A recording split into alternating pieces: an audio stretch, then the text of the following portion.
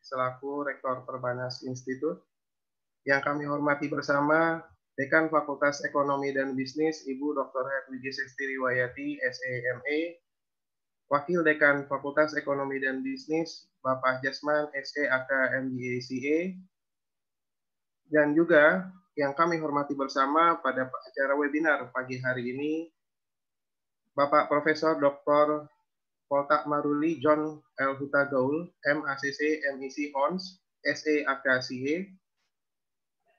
Yang kita hormati juga narasumber kita pada pagi hari ini yang sudah bergabung. Yang pertama Ibu Dewo, selaku Kasubdit Pemeriksaan Transaksi Khusus Direktorat Pemeriksaan dan Penagihan Pajak DJPRI. Dan pemateri narasumber kedua kita Bapak Permana Adi Saputra, SEAK CE SHMM, selaku Sekretaris Umum KAPJ IAI. Dan untuk itu sebelumnya saya mohon maaf kepada Ibu Dewo, eh, tidak kami pasang foto dan eh, profilnya di dalam e-flyer kami karena memang eh, kami baru saja menerima eh, informasi bahwa Ibu selaku pemateri kita pada webinar pagi hari ini. Tak lupa eh, kami ucapkan terima kasih yang sebesar-besarnya kepada pimpinan pihak Perbanas serta Sivitas Akademika, Akademika Perbanas Institut yang telah memberikan support dan dukungan sehingga bisa terselenggaranya webinar pada pagi hari ini. Dan saya selaku pembawa acara juga mengucapkan selamat datang dan selamat bergabung kembali eh, di acara webinar Fakultas Ekonomi dan Bisnis Perbanas Institut yang eh, kali ini dan pagi hari ini membahas bertemakan tentang aspek transparansi dan kepastian hukum dalam pemeriksaan transfer pricing. Rabu 30 September 2020. Baik, sebagai acara selanjutnya, marilah kita uh, saksikan bersama penayangan company profile dari Perbanas Institut dan Ikatan Akuntan Indonesia. Untuk itu, kepada co-host, saya persilahkan.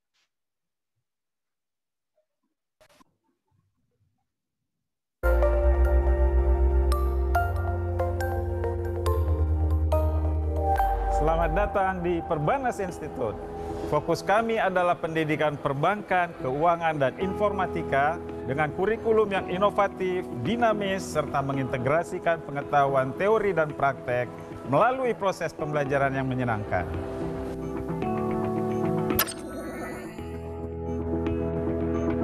Kampus Perbanas Institute berlokasi strategis di segitiga emas bisnis ibu kota Jakarta yang didukung kemudahan akses dan beragam layanan transportasi publik.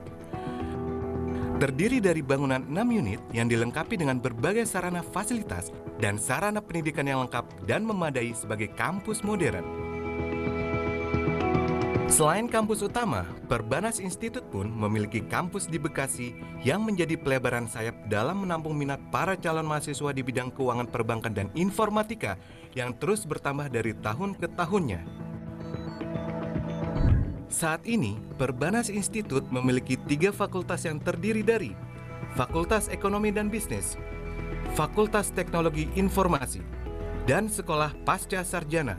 Kami sangat berkompeten dalam membentuk dan mengembangkan sumber daya manusia yang profesional, handal, dan bermartabat di bidang manajemen bisnis, keuangan, serta perbankan di sektor swasta maupun di sektor publik. Kuliah di Perbanas Institute merupakan sebuah pengalaman yang menyenangkan bagi saya. Kurikulum yang seimbang antara hard skill dan soft skill didesain untuk menciptakan calon pemimpin yang berkualitas. Kurikulum di Perbanas Institute sangat menarik dan sesuai dengan perkembangan bisnis. Jadi selain teori, banyak juga real case study yang dipelajari dan didiskusikan. Perpaduan kedua hal ini merupakan edit value dan sangat memberikan banyak manfaat bagi saya selama studi di Perbanas Institute dan menjadikan lulusan Perbanas Institute kompetitif dalam persaingan global. Saya bertemu dengan para dosen yang sangat kompeten, baik akademisi maupun praktisi. Materi yang disampaikannya pun sangat up to date dengan perkembangan bisnis dan dunia kerja.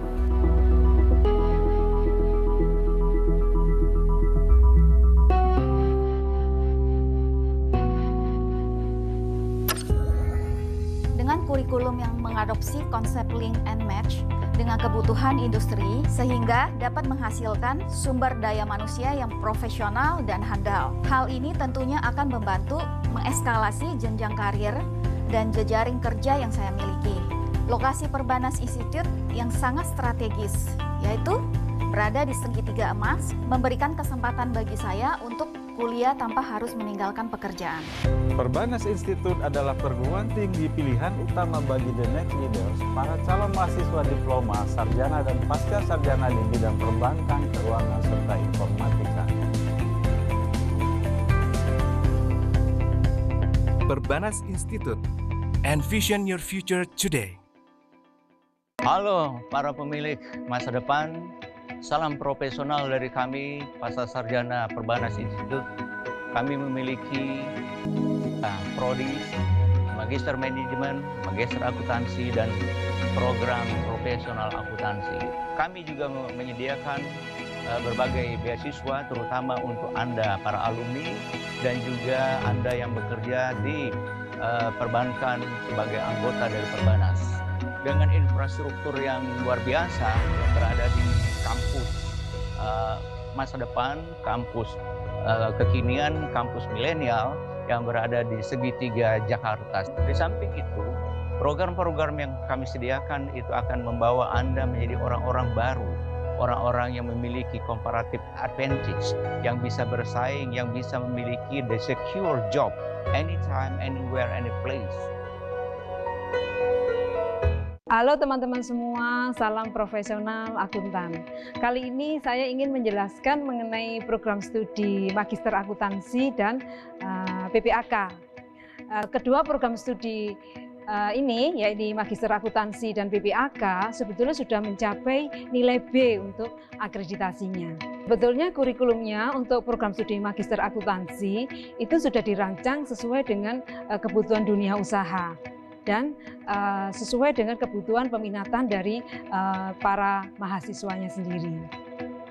Terdapat enam konsentrasi, yaitu uh, konsentrasi akuntansi keuangan, kemudian pengauditan, perpajakan, akuntansi sektor publik, akuntansi syariah, dan kemudian uh, akuntansi manajemen. Jumlah SKS untuk para lulusan adalah 45 SKS yang terbagi dalam 13 mata kuliah. Kurikulum ini dapat ditempuh selama satu setengah tahun. Adapun untuk program PPAK itu dapat ditempuh kurang dari satu tahun. Selain itu, kami menawarkan join program, di mana semua mata kuliah yang ditempuh di PPAK dapat diakui di program Magister Akuntansi. Baik teman-teman, kami tunggu di program studi Magister Akuntansi dan PPAK.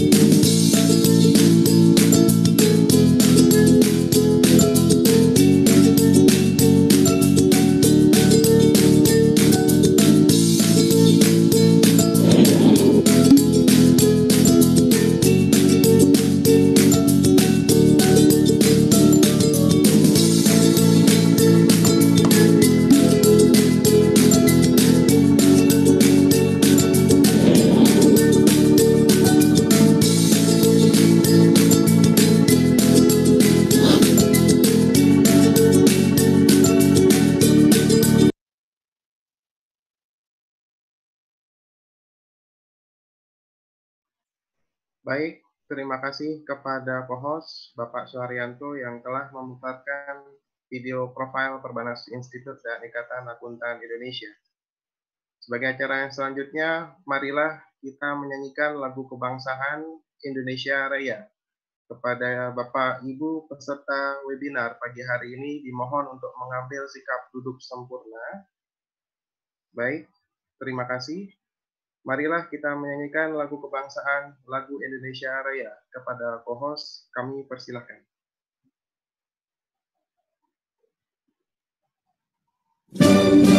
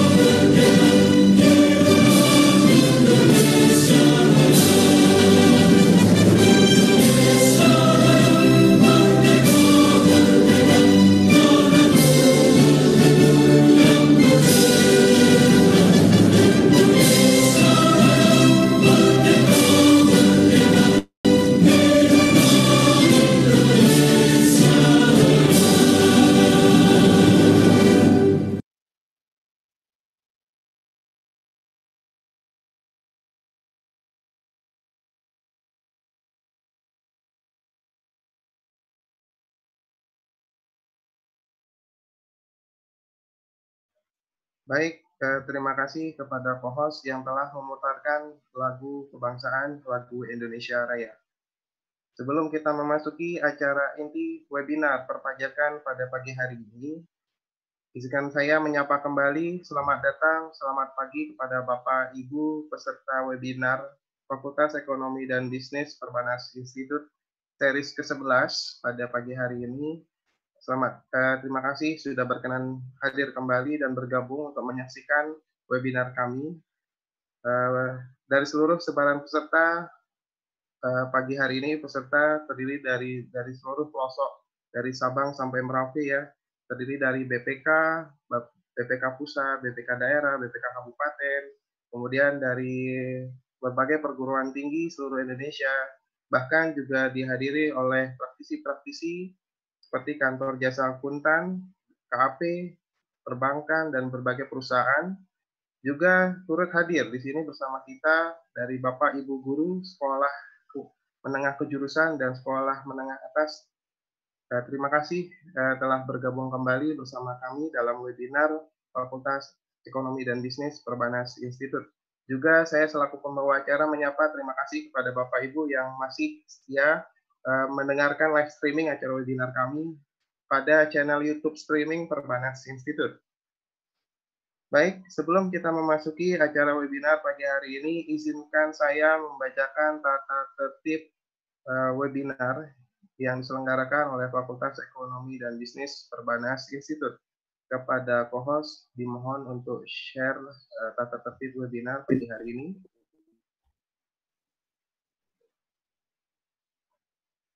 Baik, eh, ketentuan pelaksanaan webinar Fakultas Ekonomi dan Bisnis. Yang pertama, peserta diminta untuk tidak membagikan username dan password meeting ID webinar. Kedua, sebelum bergabung peserta diminta menyertakan nama jelas dan asal instansi jika memungkinkan.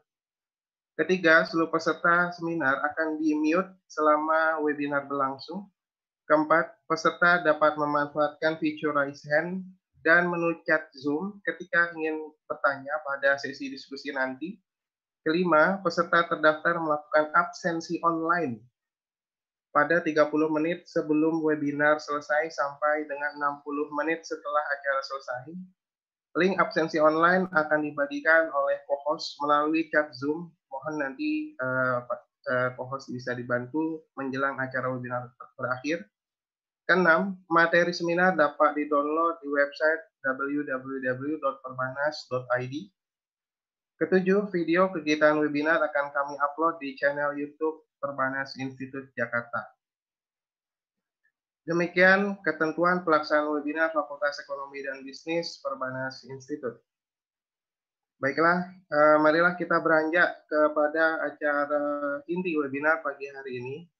Sebagai sesi yang pertama, marilah kita dengarkan keynote speech yang akan disampaikan oleh Ketua IAI KAPJ dan Guru Besar Perbanas Institut yang akan disampaikan oleh Bapak Profesor Dr. P.M. John L.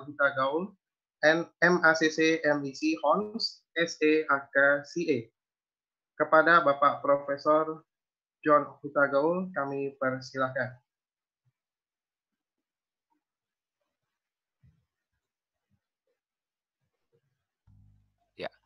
Terima kasih Pak Rizal. Assalamualaikum warahmatullahi wabarakatuh. Selamat pagi dan salam sejahtera bagi kita semua. Om Swastiastu, nama budaya, salam kebajikan. Izinkan saya untuk menyapa uh, teman-teman uh, sekalian dan juga khususnya kepada teman saya Bapak Rektor yang saya hormati, Profesor Dr. Hermanto Siregar. Yang berikutnya kepada eh, teman-teman uh, saya di Perbanas, Civitas Akademika, para dosen, pengajar, dan maupun adik-adik mahasiswa yang saya cintai.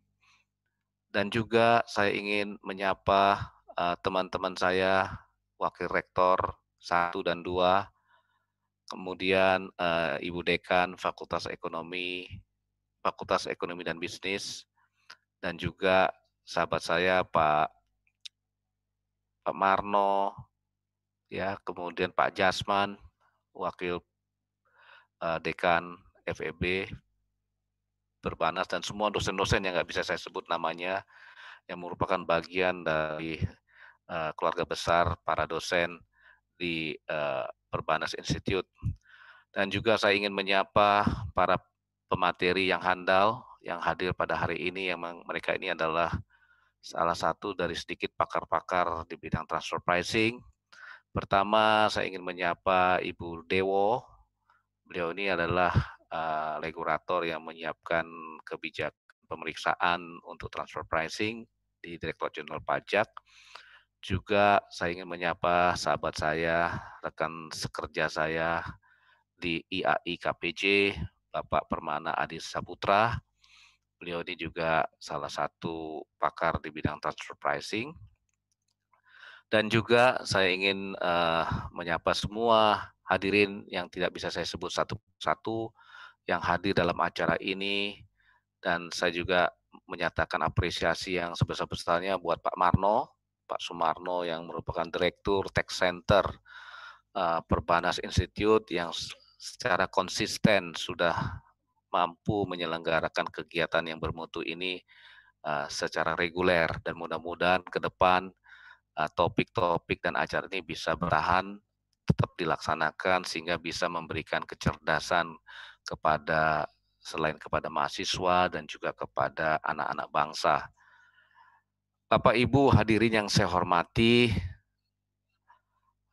saya juga ingin uh, menyapa teman-teman saya di di di IAI ya. Acara ini juga bisa berlangsung berkat kolaborasi antara Perbanas Institute dengan uh, eh, IAI Ikatan Akuntan Indonesia yang merupakan uh, asosiasi akuntan seluruh Indonesia, yang mana salah satunya ada kompartemen akuntan pajak.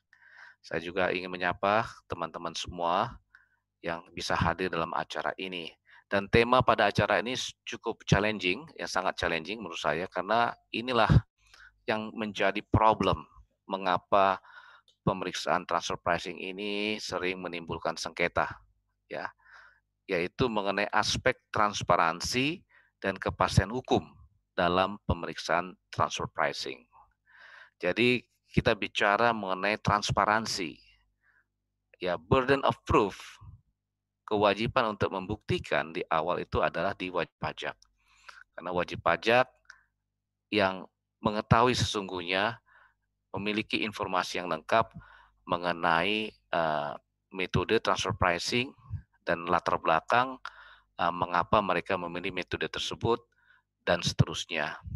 Kemudian masalah kepastian hukum ini juga penting ya, terutama masalah regulasi. Regulasi harus harus jelas ya dan tidak menimbulkan multi tafsir dan selanjutnya dapat dioperasi operasionalisasikan, dapat diterapkan. Nah, tentunya kewajiban untuk menyiapkan regulasi ini ada pada pemerintah, dalam hal ini Direktorat Jenderal Pajak, Kementerian Keuangan. Nah, oleh karena itu, uh, regulasi sangat dibutuhkan, sehingga aturan main menjadi hak dan kewajiban masing-masing, termasuk wajib pajak dan juga Direktur Jenderal Pajak dalam hal ini auditor, ini benar-benar uh, bisa dipahami oleh kedua belah pihak. Sehingga ini akan memperkecil timbulnya perbedaan penafsiran ya sehingga menimbulkan sengketa pajak. Bapak Ibu hadirin yang saya hormati, isu transfer pricing adalah isu yang selalu menarik untuk dibahas. Kalau boleh saya katakan bahwa isu mengenai transfer pricing ini merupakan isu klasik. Ibaratnya musik klasik Beethoven yang selalu enak didengar. Ya, walaupun kita adalah generasi-generasi yang berikutnya ya sekian ratus tahun setelah Beethoven menciptakan lagu ya klasik dan musik klasiknya itu masih bisa kita nikmati apalagi menjelang tidur. Ya saya kalau dengar musik Beethoven baru lima menit sudah bisa nyenyak gitu ya karena nyamannya indahnya uh, instrumen musik tersebut. Nah, demikian juga transfer pricing ini ibaratnya isu klasik isu berarti permasalahan yang klasik. Masalah ini terus timbul. Ketika saya pertama kali uh, menjadi pegawai Direktur Jenderal Pajak yang saya cintai, ya isu transfer pricing ini sudah saya saya dengar dan saya ketahui ya kira-kira 25 tahun yang lalu. Ya. Nah, sampai sekarang pun ini belum selesai-selesai. Ya masih ada aja isu klasik ini. Ya. Dan ini bukan hanya di Indonesia, ini sudah menjadi isu klasik di dunia. Ya. Wajib pajak dalam upaya meningkatkan efisiensi dan sinergi di dalam grup usahanya dapat melakukan tax planning di antaranya dengan menerapkan transfer pricing. Hal ini kemudian menjadi tantangan pemerintah yang senantiasa berupaya mengoptimalkan penerimaan negara dari sektor perpajakan. Jadi memang isu mengenai transfer pricing ini lahir muncul di dalam grup usaha. Ya. Awalnya grup usaha ini yang terdiri dari beberapa perusahaan ini ingin melakukan efisiensi. Ya. Efisiensi misalnya di bidang perpajakan dengan menerapkan tax planning. Namun terkadang ketika kita menerapkan tax planning, kita nggak bisa membedakan mana yang tax avoidance, mana yang tax evasion. Sangat beda tipis. Sehingga sering terjadi dalam praktek wajib pajak ini justru melakukan tax evasion, penghindaran pajak. Ya, pengelakan pajak, penghindaran pajak ini beda tipis. Ya, sehingga ini bertentangan dengan regulasi yang ada. Nah, oleh karena itu eh, praktek transfer pricing ini cenderung ini mengakibatkan BEPS yang kita kenal dengan Base Erosion and Profit Shifting. Ya, wajib pajak nggak sadar bahwa apa yang mereka lakukan itu mengakibatkan basis pemajakan di negara di, di mana mereka berada melakukan usaha itu tergerus sehingga potensi penerimaan pajak menjadi hilang. Padahal kita ketahui negara seperti Indonesia yang besar ini, ya negara 16 besar dunia ini, karena kita termasuk G20, kita sangat mengandalkan penerimaan pajak untuk menopang APBN kita. Jadi apalagi di tengah-tengah masa pandemi COVID-19 ini. Ya kita butuh dana yang besar untuk memfinancing segala fasilitas program stimulus ekonomi kita yang berjumlah sangat besar, 695,2 triliun, ini tentunya akan dibiayai dari sumber penerimaan pajak. Nah, oleh karena itu penerimaan pajak ini mau tidak mau ini menjadi perhatian serius di banyak negara termasuk Indonesia. Ya, even Amerika, even UK, even Australia, Jepang, Korea, mereka sangat mengandalkan penerimaan pajak sebagai tulang punggung APBN mereka masing-masing. Jadi tentunya setiap perencanaan pajak yang dapat mengakibatkan terkikisnya, menggerusnya basis pemajakan di suatu negara ini menjadi challenging bagi pemerintah tersebut.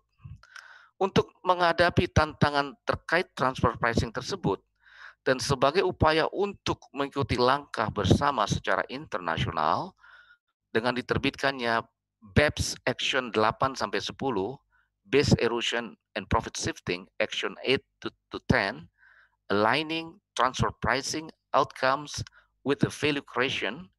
Mengenai transfer pricing, maka pada tanggal 18 Maret 2020, Menteri Keuangan menerbitkan peraturan Menteri Keuangan nomor 22 garis miring PMK titik 03 garis miring 2020 tentang tata cara pelaksanaan kesepakatan harga transfer atau advance pricing agreement.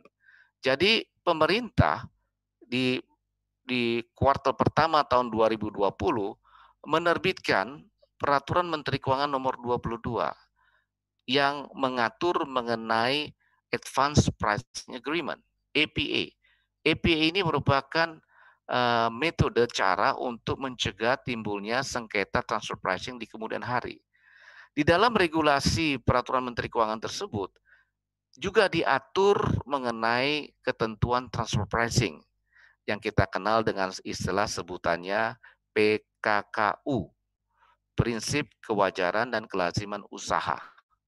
Dan sebagaimana Bapak Ibu hadirin dan juga mahasiswa yang saya cintai, bahwa kewajiban kita untuk menerapkan, untuk melaksanakan standar yang diatur di dalam BEPS Action 8, 10, 8, 9, dan 10, ini merupakan bagian dari komitmen kita sebagai anggota international fora, forum internasional yang beranggotakan 137 negara atau jurisdiksi yang kita sebut dengan sebutan Inclusive Framework on BEPS. Jadi Indonesia sejak tahun 2016 sudah menjadi anggota dari International Fora Inclusive Framework on BEPS yang nanti di bulan Oktober ya kita akan melakukan meeting yang sangat penting untuk menentukan arah kebijakan pemajakan atas transaksi digital. Ya. Nah, guna memenuhi action 8 sampai 10 tadi, kita sudah mengeluarkan PMK nomor 22 tahun 2020.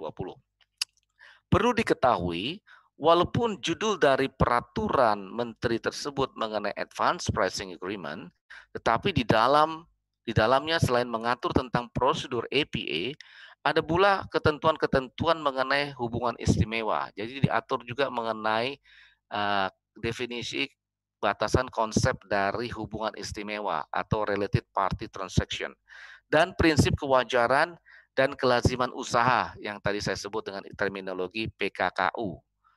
Terlebih lagi, pasal 23 ayat 1 peraturan menteri tersebut menegaskan bahwa ketentuan-ketentuan mengenai PKKU dalam peraturan tersebut tidak hanya berlaku atas APA, atas Advance Pricing Agreement, tetapi juga wajib, ya hukumnya wajib diterapkan oleh wajib pajak dalam pelaksanaan hak dan pemenuhan kewajiban di bidang perpajakan terkait transaksi yang dipengaruhi oleh hubungan istimewa.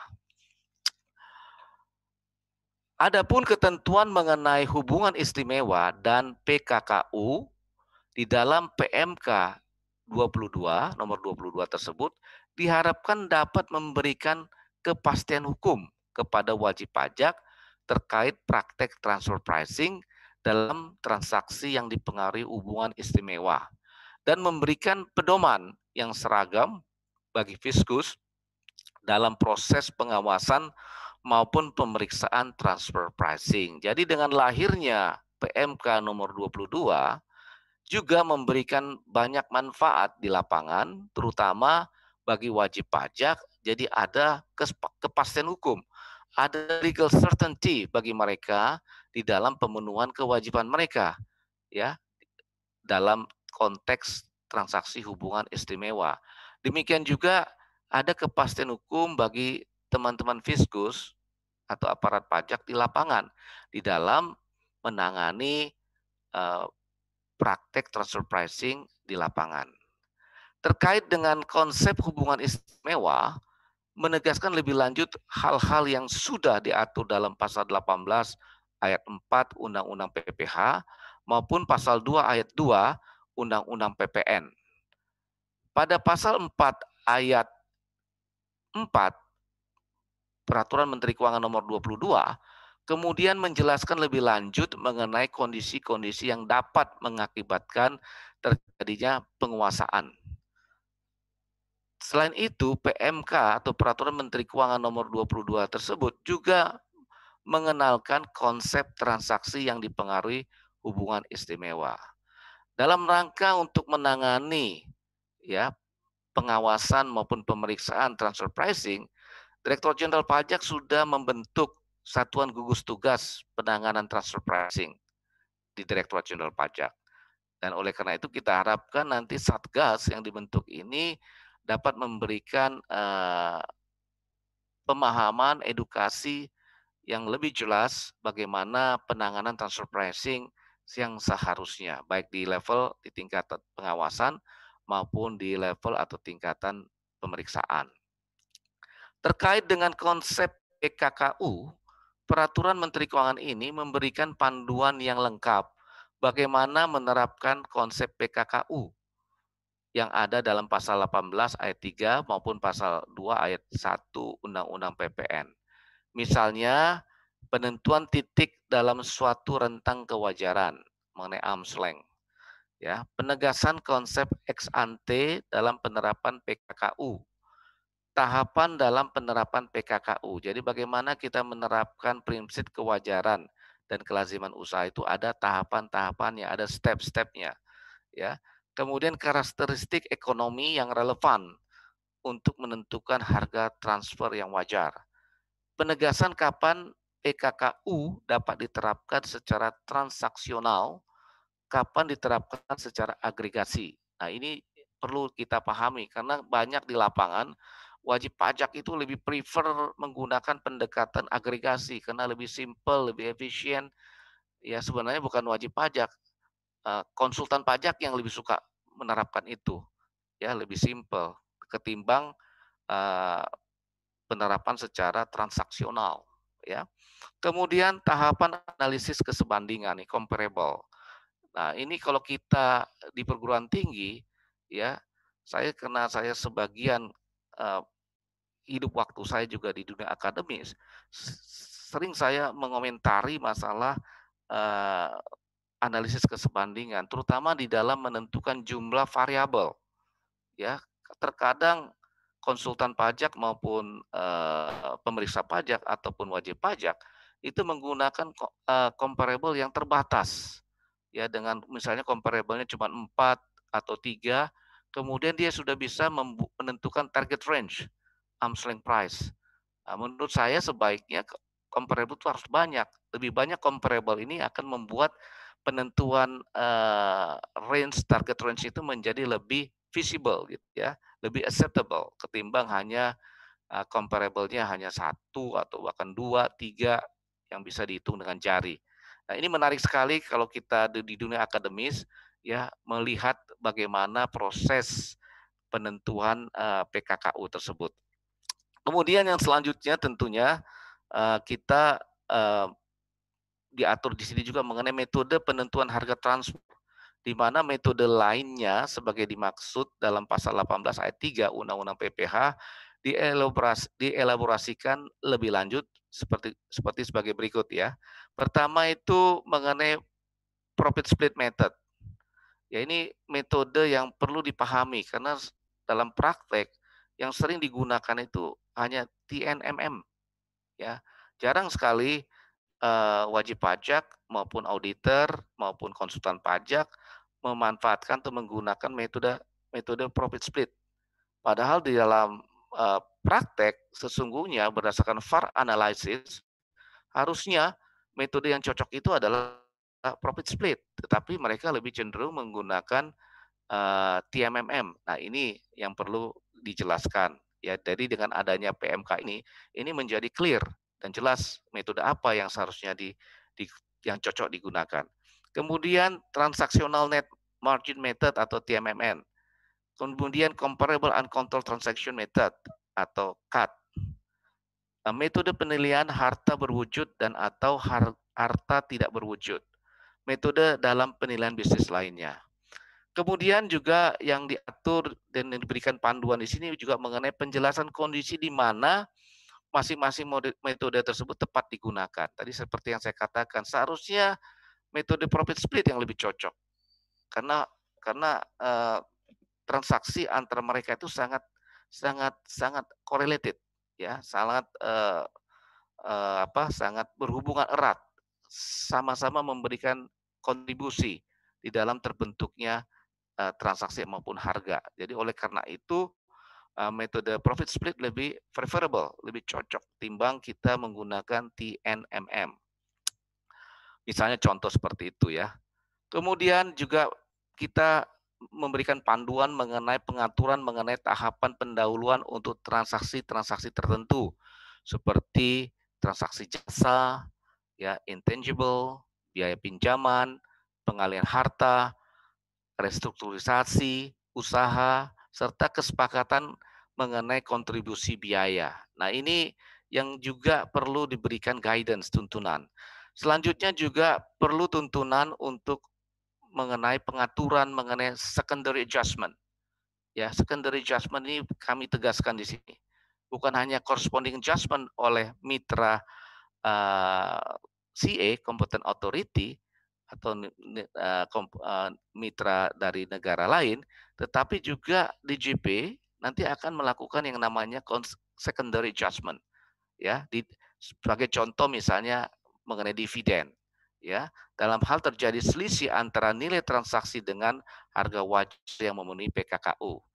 Nah, jadi uh, kalau misalnya ada koreksi terhadap dividen, tentunya uh, ini akan uh, berdampak terhadap uh, uh, dividen yang yang apa uh, yang harusnya uh, dibayar oleh wajib pajak bersangkutan. Ya. Misalnya ada pembayaran yang sudah terlanjur ke induk perusahaan oleh subsidiary company, kemudian dikoreksi ya secondary judgment. Nah, ini tentunya akan menimbulkan kewajiban pemotongan atas pembayaran dividen.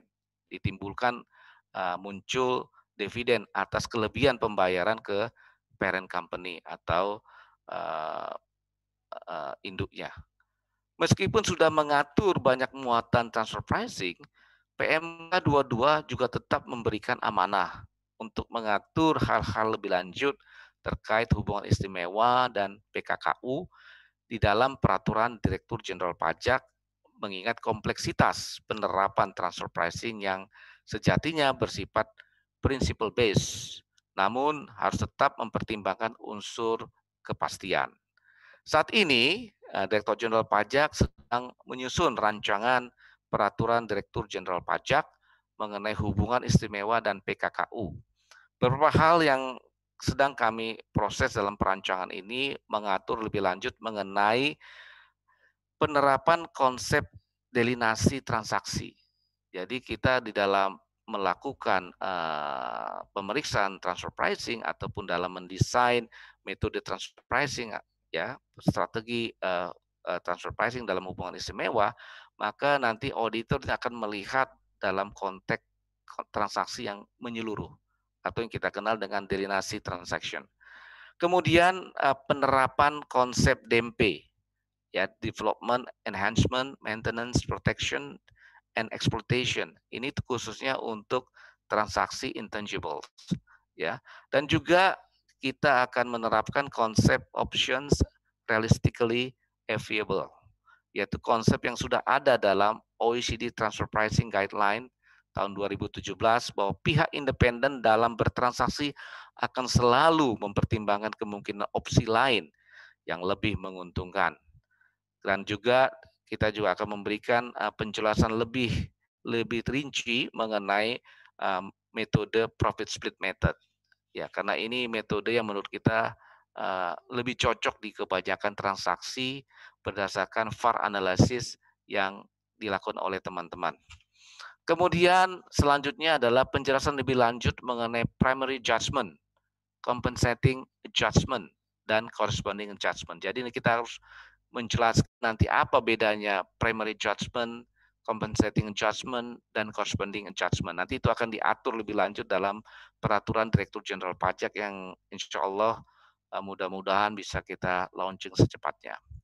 Bapak, Ibu hadirin dan mahasiswa yang saya cintai, eh, demikianlah uh, paparan yang bisa saya sampaikan di dalam kesempatan keynote speech pada pagi hari ini. Dan tentu dengan harapan yang besar pertemuan ini bisa memberikan pencerahan dan juga bisa menambah wacana pengetahuan hadirin yang hadir pada hari ini, pada pagi hari ini. Demikian yang bisa saya sampaikan. Sekali lagi saya ucapkan selamat buat uh, Tech Center Perbanas Institute dan juga IAI, Ikatan Akuntan Indonesia, Kompartemen Akuntan Pajak yang selama ini sudah melaksanakan acara dengan baik dan mudah-mudahan hari ini acaranya jauh lebih baik lagi daripada yang sebelumnya. Terima kasih. Wassalamualaikum warahmatullahi wabarakatuh. Om Santi Santi Om. Waalaikumsalam warahmatullahi wabarakatuh. Baik, terima kasih kami ucapkan kepada Bapak Profesor Dr. T.M. John L. Hutagaul, MICC, MEC Hons SE AKCE yang telah berkenan membuka diskusi webinar pagi hari ini dengan keynote speech. Terima kasih kami ucapkan kembali kepada Bapak Prof. John. Baiklah, uh, Bapak Ibu peserta hadir webinar Fakultas Ekonomi dan Bisnis uh, series ke-11 pagi hari ini. Marilah kita masuki acara sesi diskusi panelis yang akan nanti dipandu oleh moderator langsung dibawakan oleh Direktur Tech Center Perbanas Institut, Bapak Sumarno Mandrejo, SEMM. Untuk itu, kepada Bapak Sumarno Mandrejo, SEMM, kami persilahkan untuk memimpin acara acara diskusi panel webinar pagi hari ini. Terima kasih.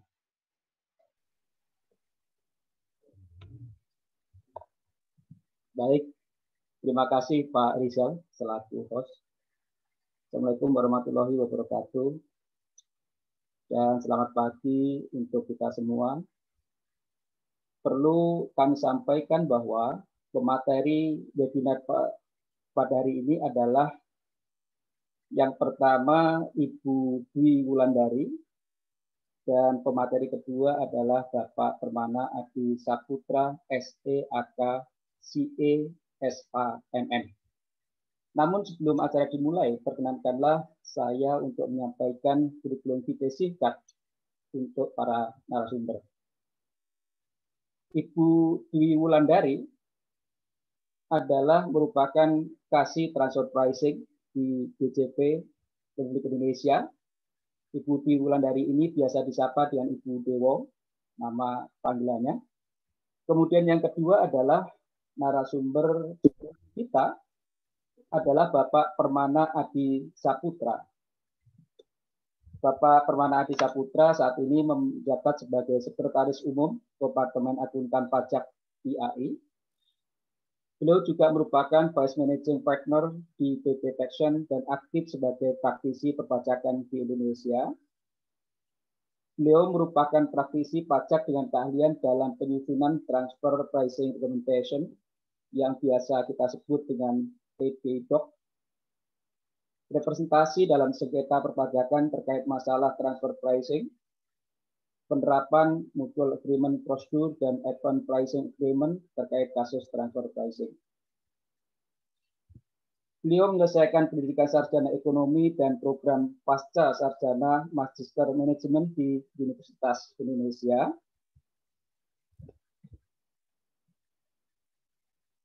Ibu dan Bapak yang kami hormati, perlu kami sampaikan kembali bahwa tema webinar kita pada hari ini adalah sangat menarik aspek transparansi dan kepastian hukum dalam pemeriksaan transfer pricing.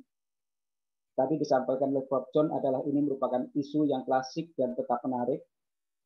Oleh karena itu perlu kami angkat kembali sehingga eh, nanti pantas kalau kita menanyakan apa sih sebenarnya yang dimaksud dengan transfer pricing itu bagaimana implementasinya, lalu di era transparansi pada saat ini, bahkan di era, era uh, pandemi COVID-19 eh, ini, seperti apa praktek transfer pricing itu. Mengapa dapat timbul sengketa dalam transfer pricing? Bagaimana penyelesaiannya dalam upaya memberikan kepastian hukum? Untuk menjawab semua pertanyaan itu, mari kita ikuti pemaparan yang akan disampaikan secara lengkap dan gamblang oleh Bapak Permana Adi Saputra. Kepada Bapak Adi Permana Saputra, waktu kami persilahkan Pak. Baik, Assalamualaikum warahmatullahi wabarakatuh. Salam sejahtera buat kita semua. Terima kasih Pak Sumarno yang saya hormati uh, Prof. Dr. Hermanto Siregar selaku rektor Perbanas Institute, kemudian yang saya hormati juga Prof.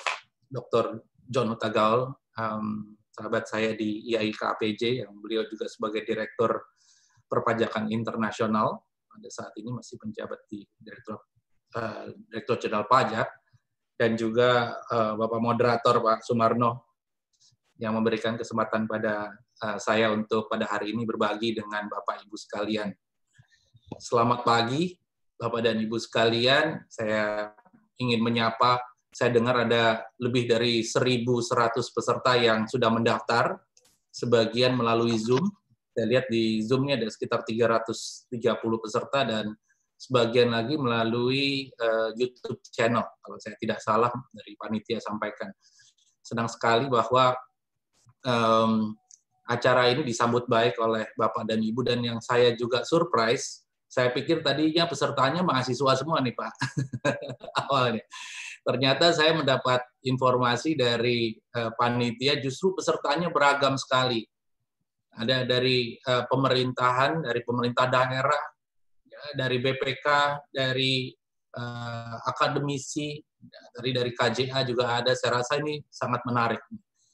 Sehingga hari ini mungkin saya mencoba untuk uh, menyampaikan materi saya tidak terlalu detail terhadap regulasi, tetapi konseptual dasarnya dulu mengenai transfer pricing. Tadi seperti Pak John sampaikan di awal, transfer pricing ini isu klasik, tapi sampai sekarang masih menjadi isu yang besar gitu. Karena mungkin transfer pricing ini sendiri belum banyak dipahami oleh masyarakat. Apa itu transfer pricing? Dan masih banyak yang saya lihat dalam menangani kasus-kasus transfer pricing, wajib pajak juga tidak mengerti kenapa saya dikoreksi transfer pricing. Kenapa ini menjadi isu yang besar buat pemerintah. Ini kan kantong kiri, kantong kanan. Orang saya hubungan istimewa, ini cuma kantong saya satu kiri, saya pindahin ke kanan. Kenapa kok pemerintah repot-repot amat nih ngurusin kantong saya gitu katanya. Nah ini yang saya ingin coba sharing saat ini. Kenapa pemerintah, tadi Pak John juga singgung, nggak cuma di Indonesia, tetapi di seluruh dunia, melihat bahwa isu transfer pricing ini menjadi isu yang sangat besar. Nanti mungkin kalau ada beberapa pertanyaan bisa ditujukan kepada uh, saya dan juga Ibu Dwi. Tadi Ibu Dwi sampaikan kalau beliau akan membantu di dalam uh, akan menjawab dalam tanya jawab. Nanti saya sharing dulu materi saya.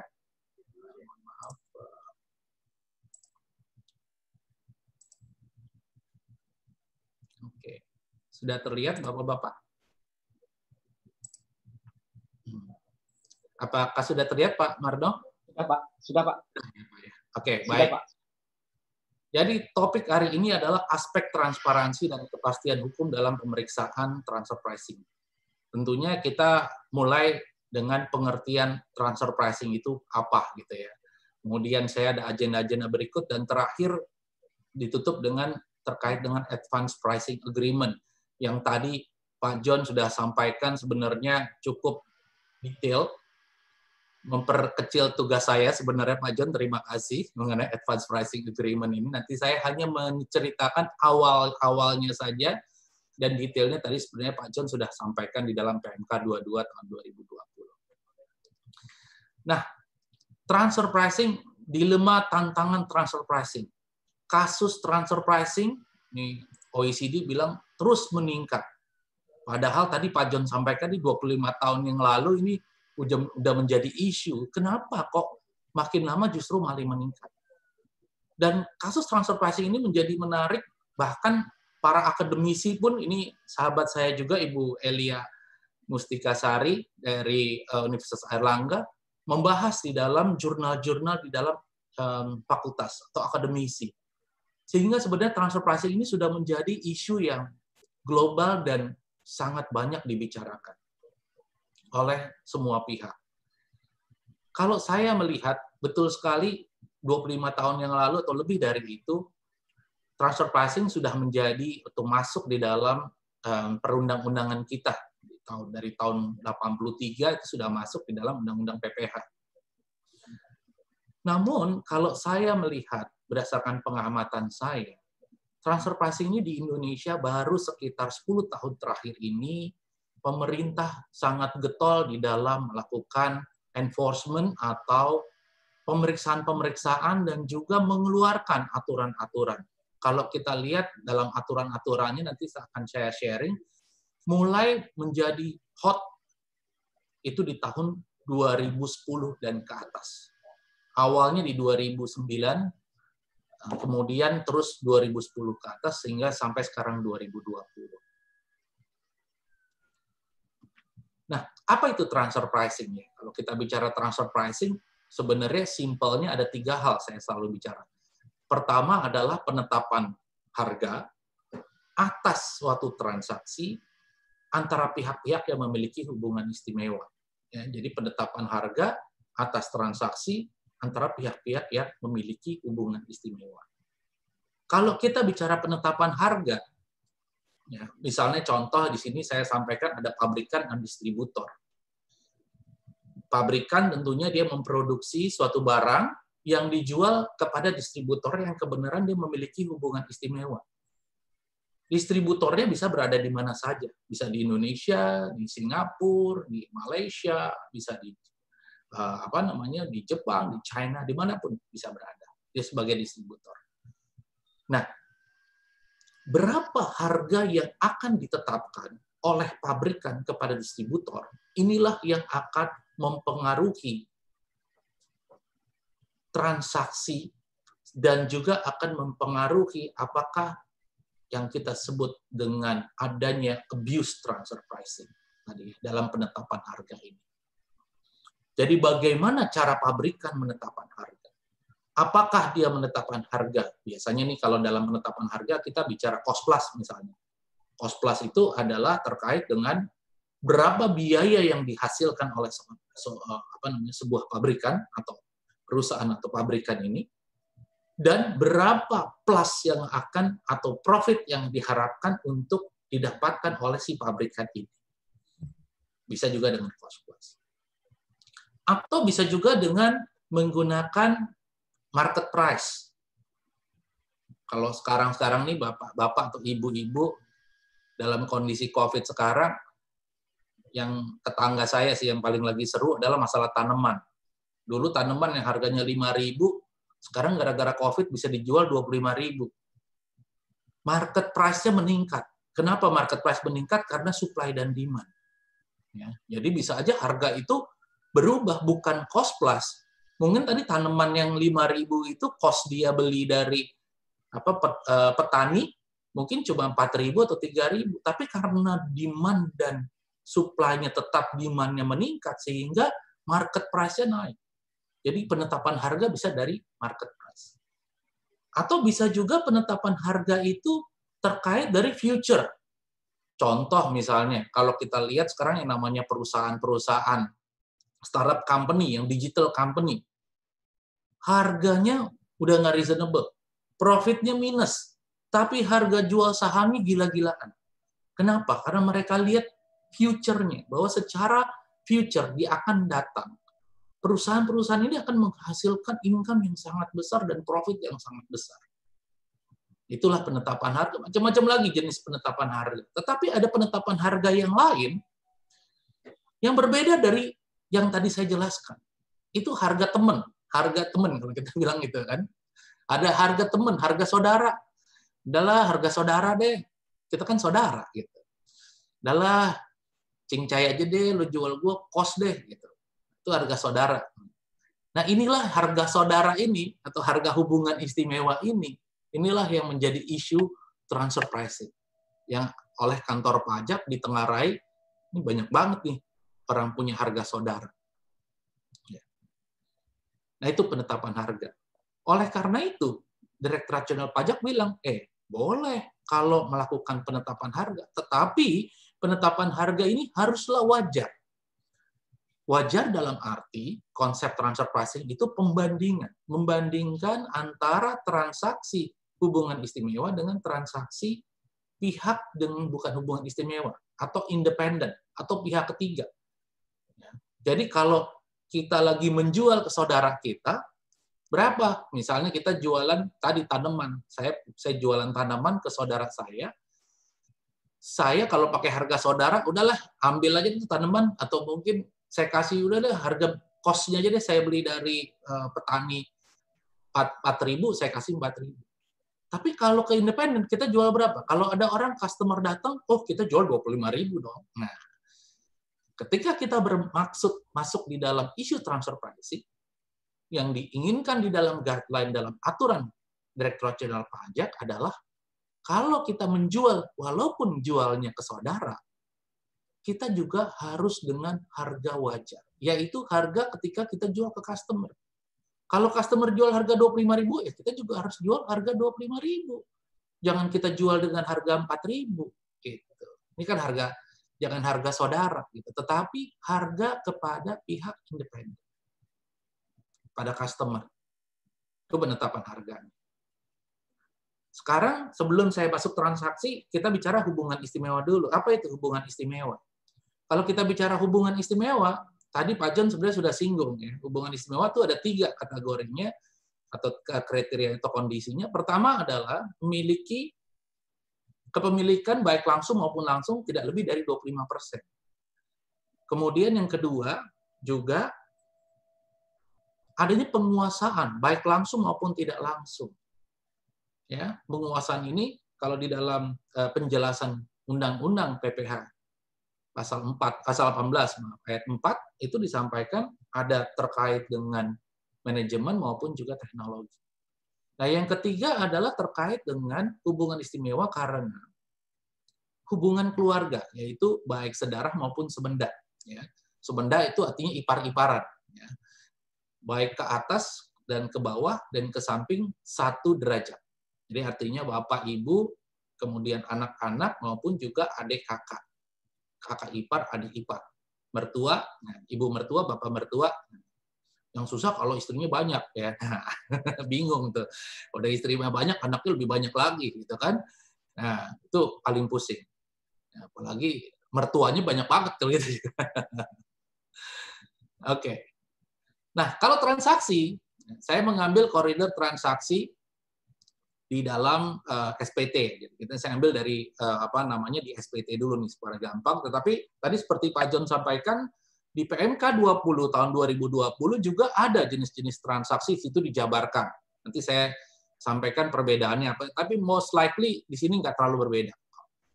Yang pertama penjualan pembelian barang berwujud ya. Jadi jual beli bahan baku, barang jadi, barang dagangan. Kedua adalah pembelian barang modal Barang modal itu eh, apa namanya eh, tanah bangunan, kemudian mesin-mesin gitu ya.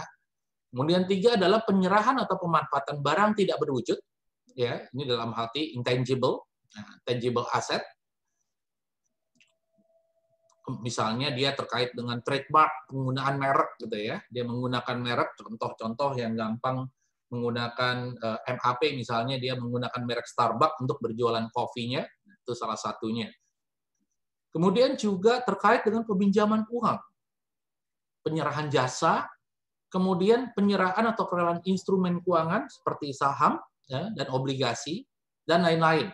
Nah, kalau dan lain-lain, kalau saya masukkan di dalam koridor tadi PM PMK 22 tahun 2 tahun 2020 di situ disebutkan ada dua tambahan dari yang berbeda di sini yaitu pertama terkait dengan restrukturisasi usaha ya restrukturisasi usaha dan yang ke yang satunya lagi adalah terkait dengan cost contribution arrangement kalau ada kontribusi biaya ya kontribusi biaya ini juga dimasukkan di dalam jenis-jenis transaksi hubungan istimewa di sini.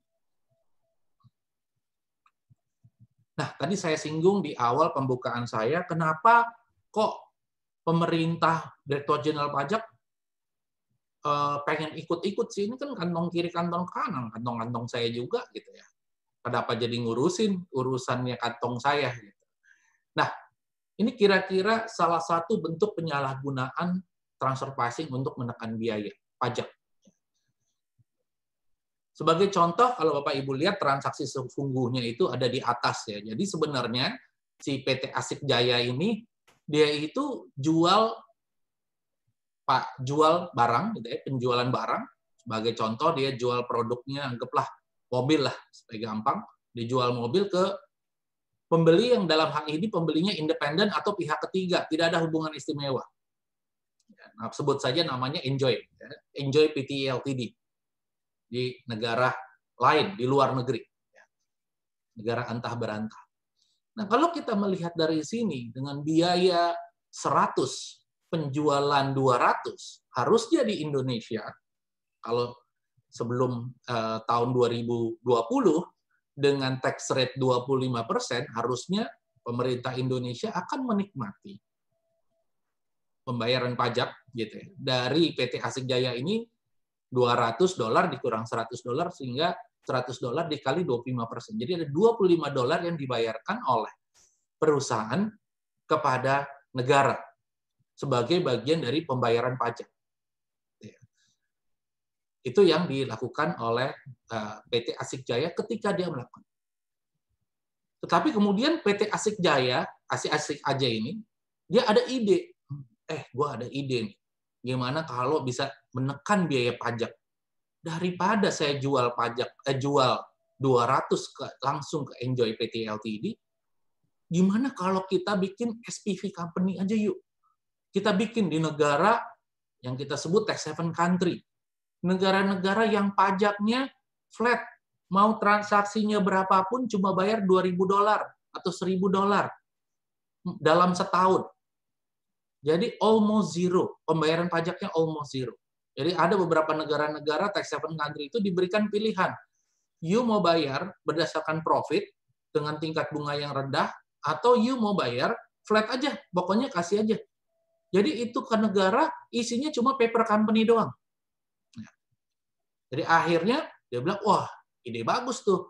Gimana kalau kita jual ke Asik PT Ltd, ya, Asik PT Ltd, satu company yang di set up dengan pemegang sahamnya dia dia juga, gitu dia lagi dia lagi.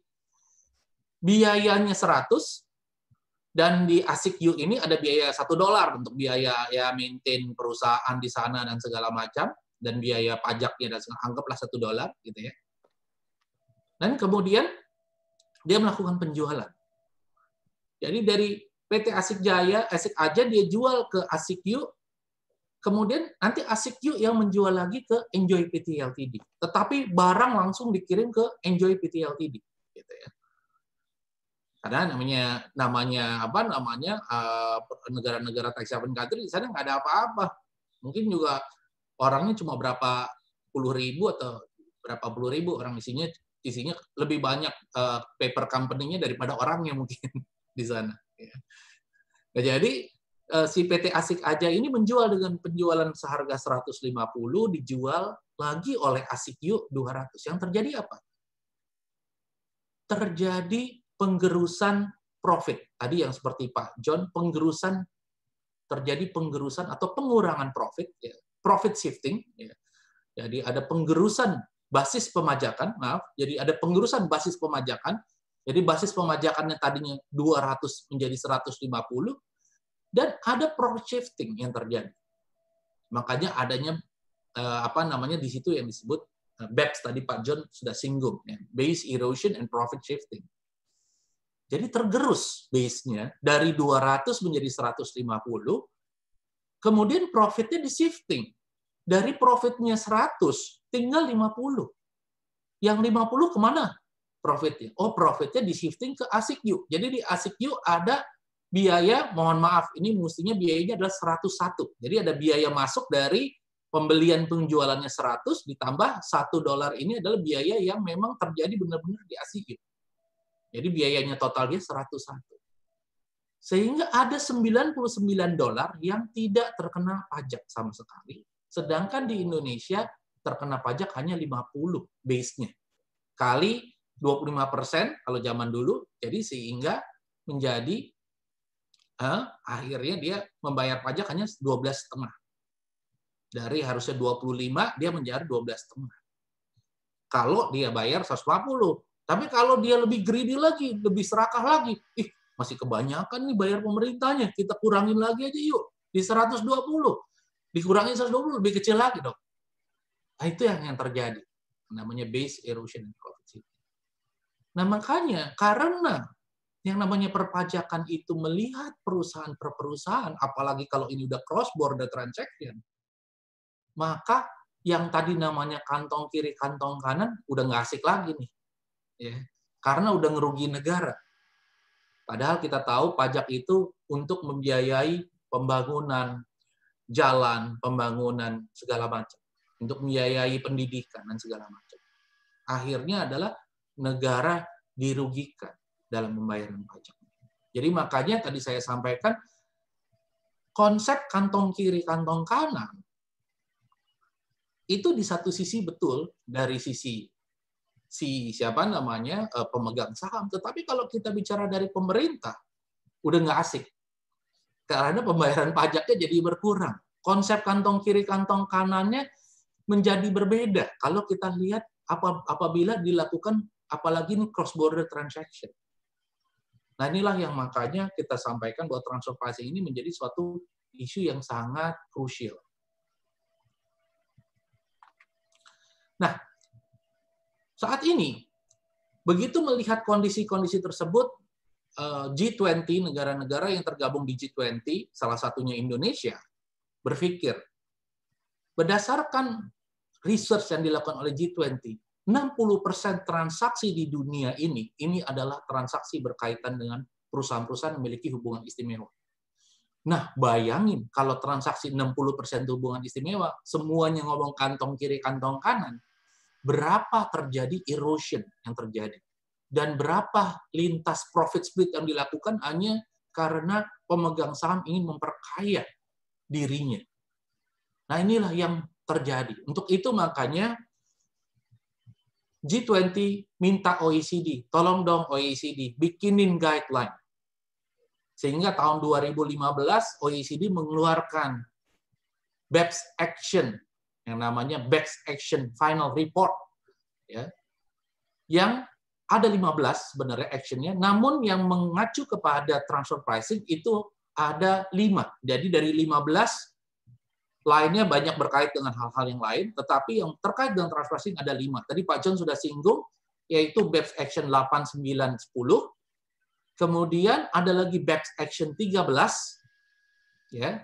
Nah, semua BEPS Action ini sudah dirangkum di dalam OECD Transfer Pricing Guideline for Multinational Enterprise di tahun 2017. Sudah diincorporate. Ya. Jadi, eh, OECD salah satu lembaga dunia ya yang sangat aktif di dalam mengeluarkan guideline-guideline. Nah, guideline ini tujuannya apa? Tujuannya untuk memberikan tax authority di seluruh dunia guideline untuk membuat regulasi.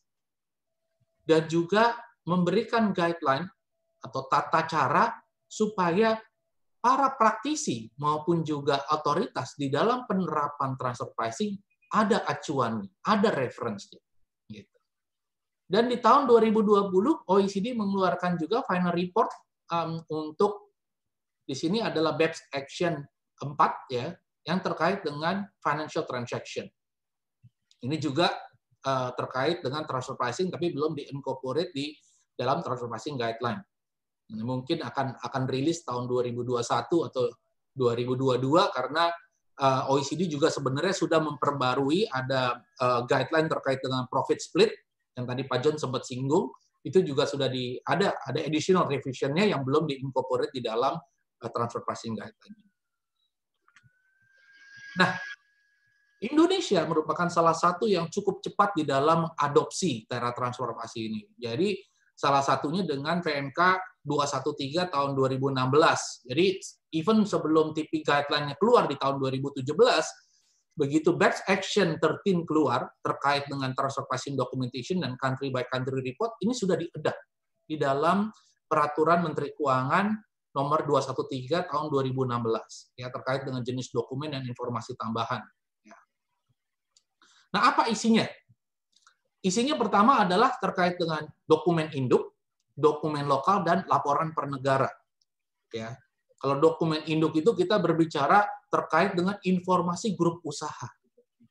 Jadi struktur bagan kepemilikan dari setiap negara, kegiatan usaha yang dilakukan, harta tidak berwujud, aktivitas keuangan, laporan keuangan konsolidasi entitas induk gitu ya. Ini semua disampaikan di dalam satu dokumen yang disebut dengan dokumen induk dan setiap perusahaan yang sudah memasuki kriteria untuk membuat transfer pricing documentation, ya tadi yang terdiri dari dokumen induk dan dokumen lokal nantinya, mereka akan wajib untuk membuat dan wajib menyampaikan apabila diminta oleh Direktorat Jenderal Pajak di dalam proses baik konsultasi maupun konseling eh, maupun juga dalam proses eh, apa pemeriksaan atau uh, bukber misalnya maupun penyidikan.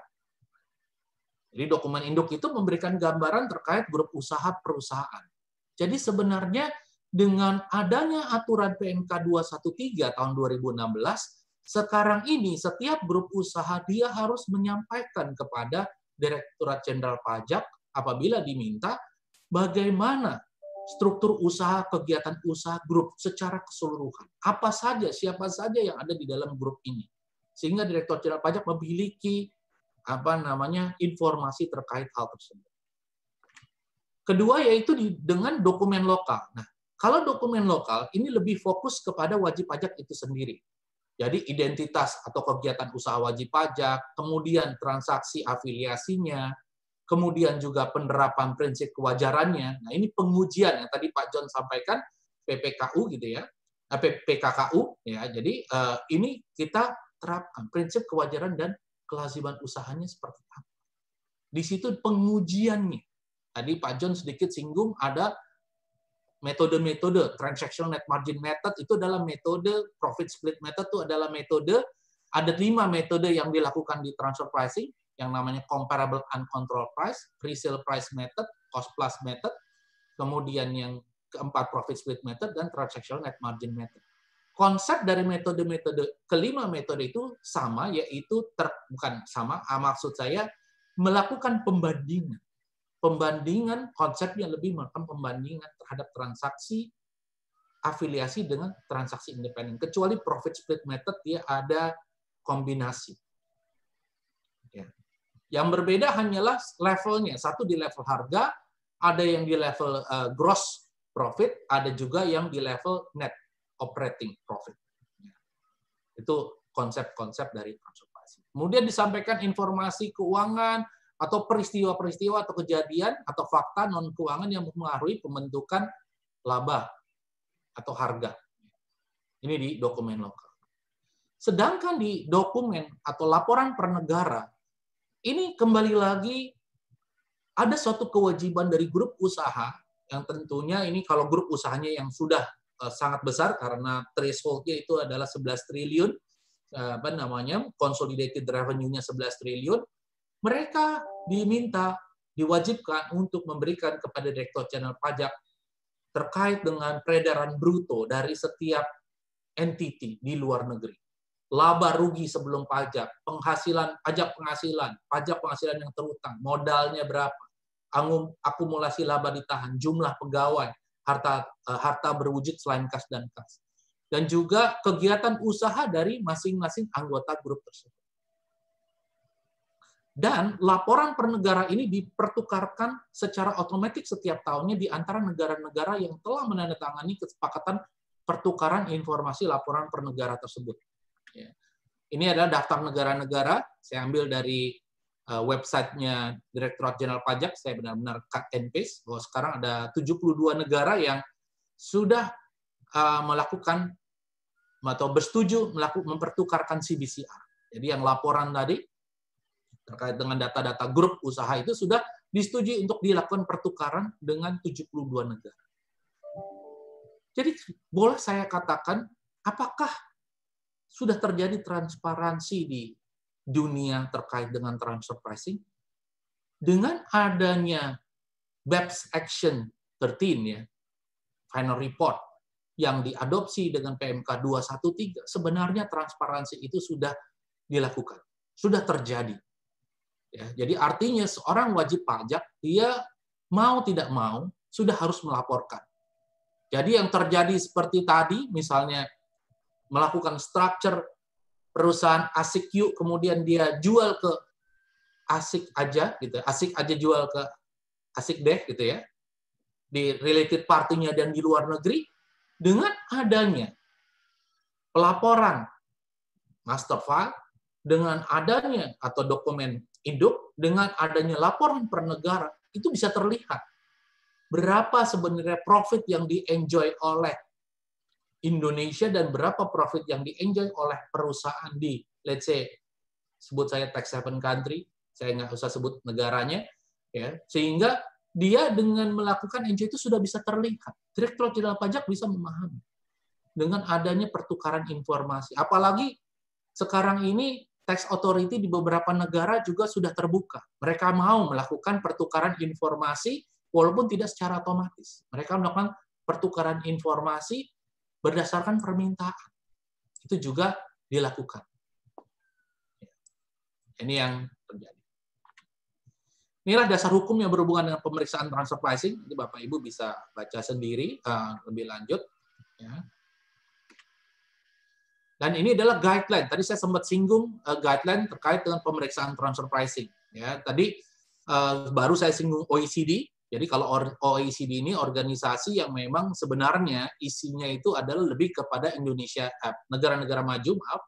Indonesia tidak terdaftar di dalam OECD, tetapi Indonesia sangat aktif ikut di dalam diskusi-diskusi terkait dengan uh, aksi action-action maupun juga perkembangan dari uh, best action.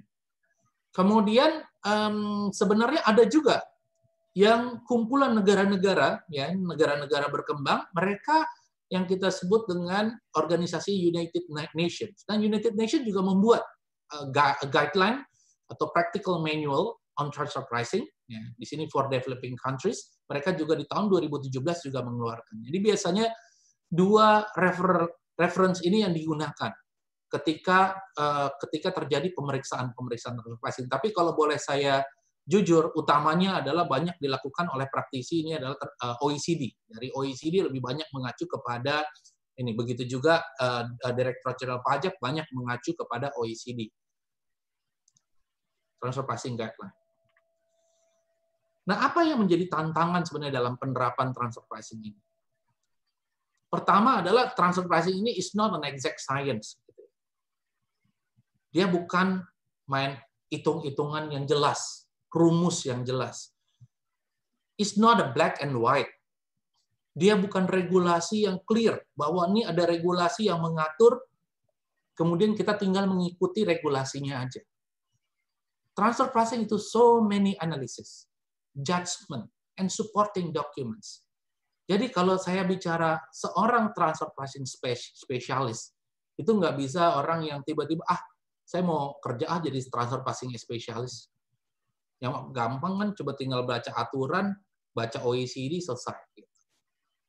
Menurut saya, transfer pricing itu adalah sesuatu yang harus dijiwai. Dia harus punya pengalaman. Dia harus mengerti secara persis. Transaksi dia harus mengerti knowledge-nya. Bukan hanya membaca, tapi mendalami. Karena tadi, dia bukan exact science. Dia bukan black and white berdasarkan regulasi. Nanti saya bicara di dalam contoh-contoh kasus kenapa saya katakan ini bukan black and white di dalam regulasi. Contoh kasus misalnya, ini adalah kasus mengenai transaksi jasa. ya.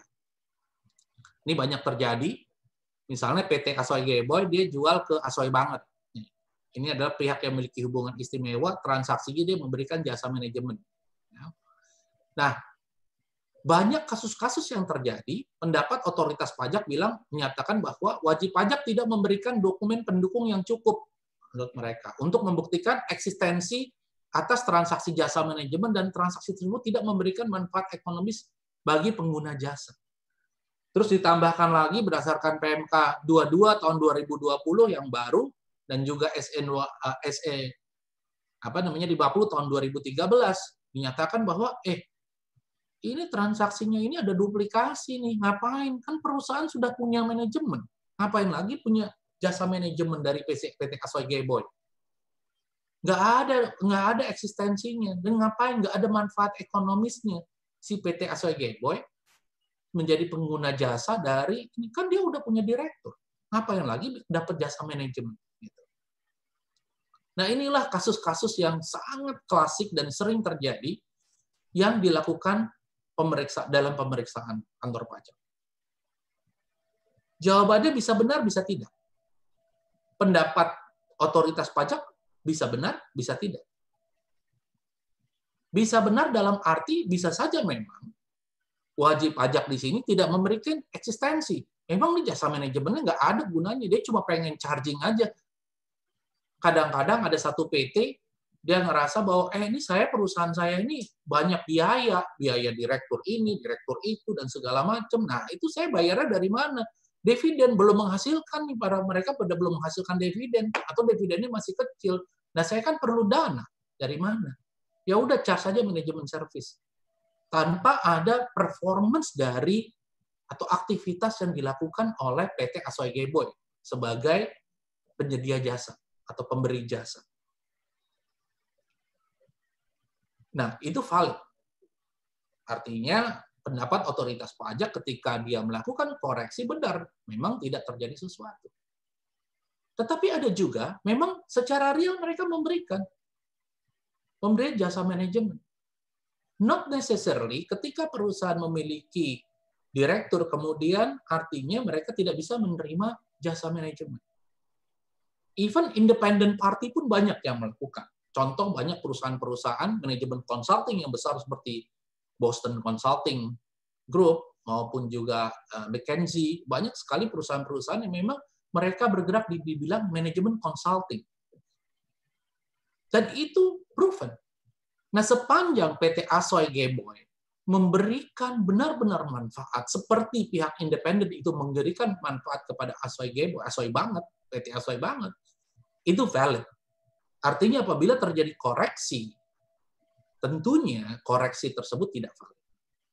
Masalahnya adalah pembuktiannya. Nah, bagaimana membuktikan bahwa itu eksistensi, bahwa itu eksis transaksinya, apakah itu memberikan manfaat ekonomis, supporting dokumen apa yang diberikan ketika mereka membuktikan bahwa ini memang benar-benar terjadi. Nah, inilah yang banyak terjadi dispute di antara Direktorat Jenderal Pajak dengan wajib pajak.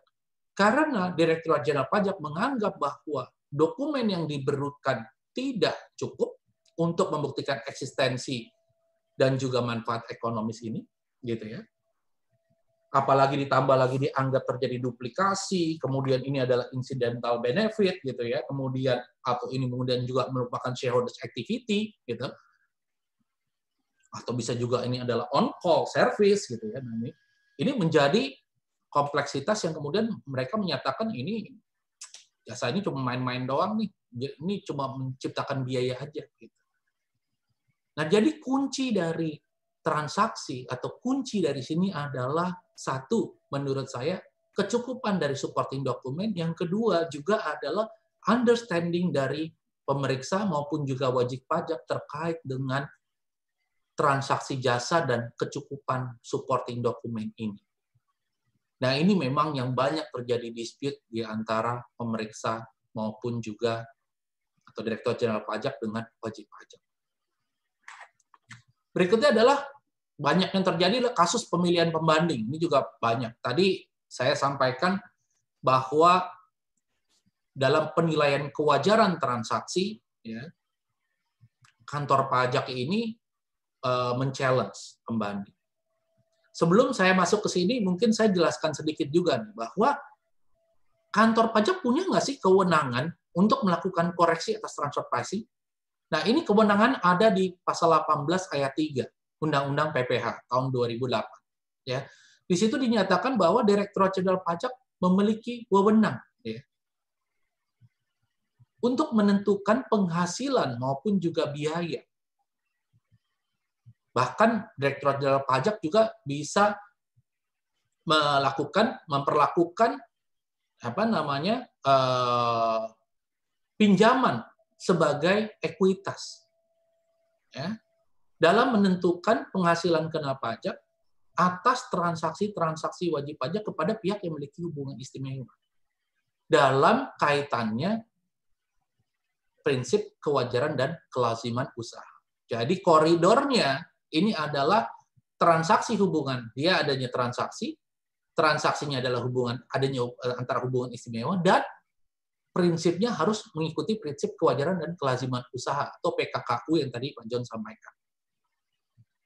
Sepanjang koridornya ini adalah seperti itu, maka Direktur Jenderal Pajak dapat melakukan koreksi. Jadi tadi sebagai contoh awal, ketika saya bicara mengenai transaksi jasa, ketika jasa dianggap tidak eksisten, maka berapapun nilai jasa tersebut, maka dianggap jasa tersebut tidak ada, misalnya jasa itu adalah satu miliar, dianggap akan ada koreksi pajak sebesar satu miliar dari biayanya.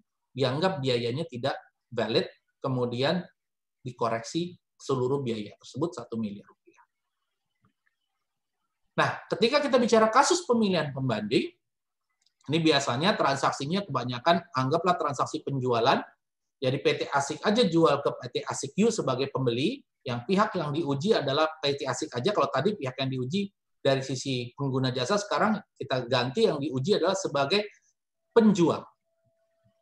Nah, PT Asik Aja ini kemudian dia akan melakukan hubungan istimewa, melakukan penjualan, dan si PT Asik Aja sudah membuat TP documentation atau dokumen lokal, dia melakukan pengujian dengan metode TNM, Transactional Net Margin Method. Transactional Net Margin Method itu adalah membuktikan kewajaran harga transaksi dari porsi profit level, operating profit level. Jadi operating margin perusahaan tersebut dibandingkan dengan operating margin perusahaan lain yang dianggap sejenis. Nah, challenge-nya di sini adalah pendapat otoritas pajak bisa menyatakan bahwa eh lima pembanding. Jadi tadi kan saya sampaikan ada satu perusahaan dibandingkan dengan performance dari lima perusahaan lain yang sudah kita pilih. Nah, otoritas pajak bisa menyatakan bahwa eh dari lima perusahaan yang Anda pilih sebagai pembanding, dua perusahaan tidak valid. Yang dianggap valid hanya tiga perusahaan. Nah, inilah yang tadi saya sampaikan. Bahwa transfer pricing is not an exact science dan bukan black and white. Kenapa? Karena ketika kita bicara pendapat otoritas pajak tiga pembanding, pendapat wajib pajak lima pembanding, buktinya bahwa lima pembanding dan tiga pembanding yang benar, kita merefer ke regulasi mana. Tidak ada regulasi yang menyatakan bahwa harus tiga pembanding. Tidak ada regulasi yang harus menyatakan harus lima pembanding. Tidak ada regulasi yang menyatakan bahwa PT yang boleh diambil adalah ini, ini, ini. Yang ada hanya kriteria cara mencari pembanding. Itu ada. Disampaikan di per 22 tahun 2013. Kriterianya. Begitu juga di dalam guideline-guideline hanya kriterianya. Tetapi kita ketika kita menyampai atau memilih pembanding tersebut, itu sudah professional judgment, supporting document, analisis. Sehingga yang kita bisa lakukan adalah bagaimana kita memiliki analisa yang dalam, kenapa pembanding ini lebih benar daripada pembanding yang lain. Ketika otoritas pajak mengatakan tiga pembanding ini lebih benar daripada lima pembandingnya, dua pembanding ini ditolak, hanya tiga pembanding ini yang diambil, otoritas pajak harus punya pendapat, harus punya analisis, harus memiliki supporting uh, apa namanya uh, supporting analisis ya tadi analisis saya sudah sampaikan. Kenapa hanya tiga pembanding dan kenapa dua pembanding ini ditolak? Begitu juga wajib pajak, dia harus punya analisa. Kenapa dia mengambil lima pembanding? Kenapa nggak membanding tiga mengambil tiga saja? Atau kenapa dia ngambil dua? Tidak kenapa dia tidak mengambil empat? Atau kenapa dia tidak ngambil sepuluh? Gitu. Harus ada analisis yang menyatakan atau melihat bahwa ini adalah kebanding meningkat. Nah inilah yang kasus-kasus yang banyak terjadi. Kemudian juga pemilihan metode TP. Memeriksa pajak melakukan eh, eh, eh, eh TP dok wajib pajak menggunakan TNMM, pemeriksa pajak menggunakan CAP method. Menurut mereka CAP method itu membandingkan harga dengan harga. Karena PT Enjoy aja, dia punya pembeli. Ini mohon maaf namanya saya ganti, pembeli yang benar Enjoy You, tapi di sini mungkin, maaf ini bukan Enjoy mungkin pembelinya adalah asik deh gitu ya. Nah, Enjoy You itu adalah hubungan istimewa. Pak Adi, ya. mohon maaf waktunya dua menit lagi ya Pak. Baik Pak, saya tunggu. Jadi nanti, baik saya percepat.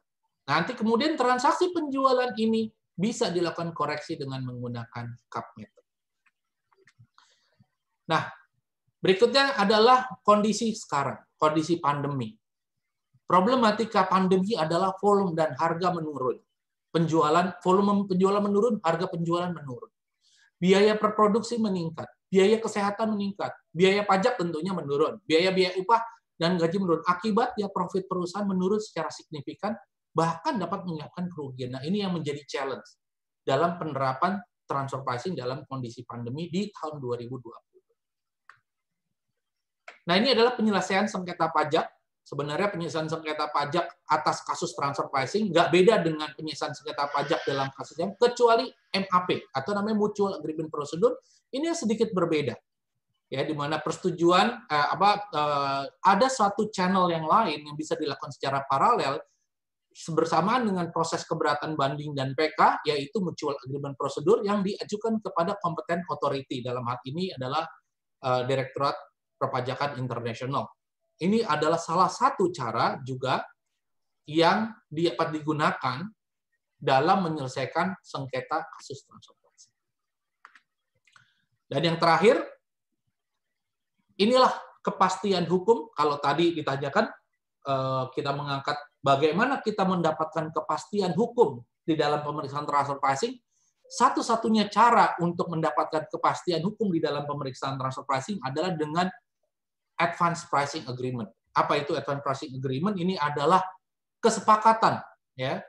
Itu bahasa Indonesia kesepakatan harga transfer yaitu adalah perjanjian tertulis ya, untuk menyepakati kriteria-kriteria dalam penentuan harga transfer dan atau menentukan harga wajar atau laba wajar di muka yang dilakukan antara Direktorat Jenderal Pajak dan wajib pajak kita sebut namanya bilateral atau maaf unilateral APA atau bisa juga kesepakatan antara Direktorat Jenderal Pajak dengan otoritas pajak pemerintah mitra P3B yang melibatkan wajib pajak. Jadi bukan cuma satu. Tadi kalau yang A ini adalah unilateral, kalau yang B ini adalah bilateral atau multilateral. Jadi bisa dua atau bisa lebih dari dua. Gitu. Nah dengan adanya advance pricing agreement ini, tentunya ini akan dapat menciptakan lebih menciptakan kepastian. Apabila ada pemeriksaan transfer pricing, kalau sudah dilakukan kesepakatan atas transaksi tertentu, jadi bisa aja misalnya transaksi hubungan istimewanya ada 10, Direktur Jenderal Pajak dan wajib pajak hanya menyepakati 5 saja dari transaksi. Itu memungkinkan. Nah, makanya yang lima transaksi tersebut akan terhindar dari dispute. Sepanjang ya, sepanjang kalau misalnya menyakati menggunakan TNMM, sepanjang memang performance dari wajib pajak sesuai dengan range yang disepakati sesuai dengan range yang disepakati tersebut. Nah, inilah yang menciptakan kepastian hukum bagi wajib pajak. Jadi kalau saya boleh simpulkan, karena waktunya sudah uh, habis, pertama bahwa yang namanya transfer pricing ini adalah is not an exact science, is not a black and white. Jadi sangatlah sulit untuk transfer pricing ini, tidak mudah untuk uh, seseorang atau perusahaan uh, di dalam menerapkan transfer pricing. Butuh pihak-pihak yang memiliki keahlian. Bisa saja perusahaan tersebut, kalau yang grup-grup besar yang saya tahu memiliki ahli-ahlinya, mereka meng-hire ahli-ahli transfer pricing karena transaksinya terlalu complicated. Di beberapa perusahaan-perusahaan multinasional maupun perusahaan lokal yang besar sudah memiliki ahli-ahli transfer pricing. Jadi mereka harus memiliki ahli sendiri karena uh, complicated. Yang kedua,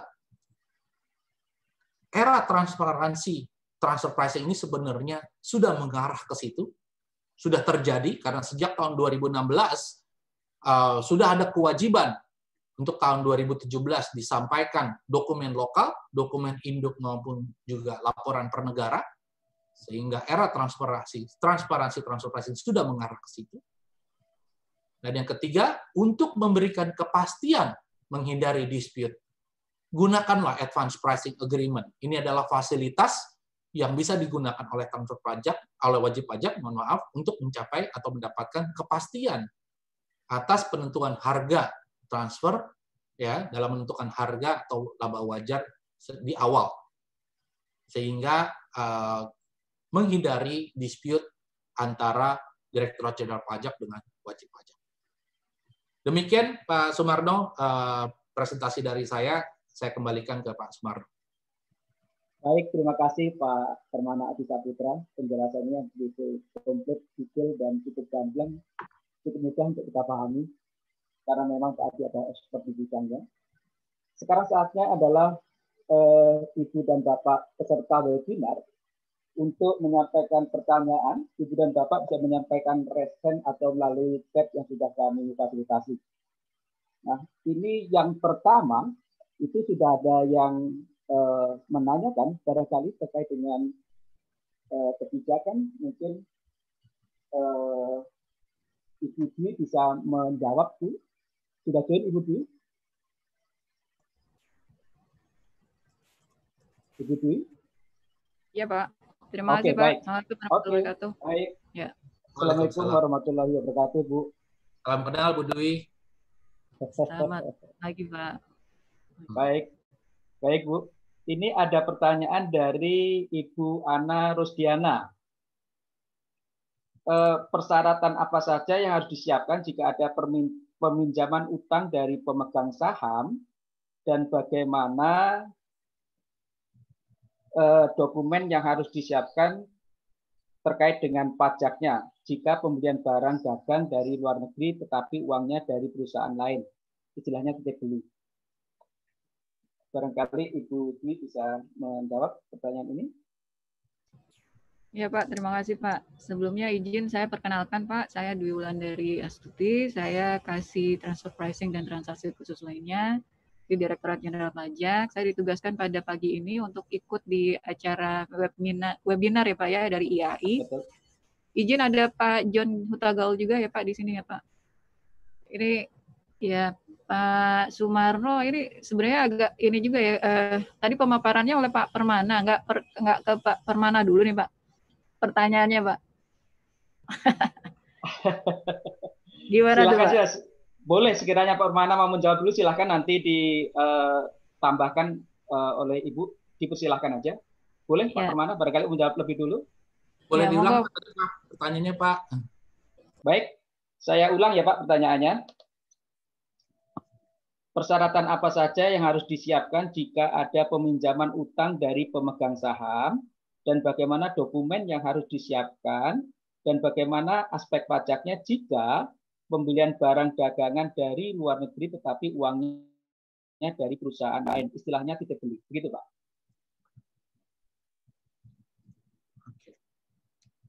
Uh, Oke, okay, baik. Mungkin saya jawab yang terkait dengan apa namanya peminjaman hutang pemegang saham ya, Pak ya. Ini dokumen apa aja yang dilakukan ya. Nah ini memang kritikal uh, nih ya. Saya banyak menghadapi wajib pajak wajib pajak di apa namanya yang saya tangani. Kalau namanya pemegang saham ini suka nggak ada dokumen. Ya, jadi ya udahlah ini kan dari pemegang saham ke anak perusahaan yang penting ada pinjam pinjaman. Nah ya Nah tentunya memang dokumen awal adalah perjanjian nih, harus ada perjanjiannya lebih dahulu Pak. Kalau nggak ada perjanjian, bagaimana kita tahu klausul-klausul yang ada di dalam perjanjian pinjam meminjam tersebut. Nah, dan perlu juga disampaikan di dalam perjanjian tersebut apa saja tentunya komponen-komponen yang ada. Yang pasti yang pertama adalah plafon, ya berapa kemudian yang akan diberikan pinjaman. Kedua terkait dengan tingkat bunganya bagaimana berapa tingkat bunga yang dikenakan. Nah, tadi kalau dalam koridor transfer pricing tentu tingkat bunga yang dibebankan itu haruslah tingkat bunga yang wajar. Tadi ya PKKU tadi harus prinsip kewajaran kelaziman usahanya dilihat.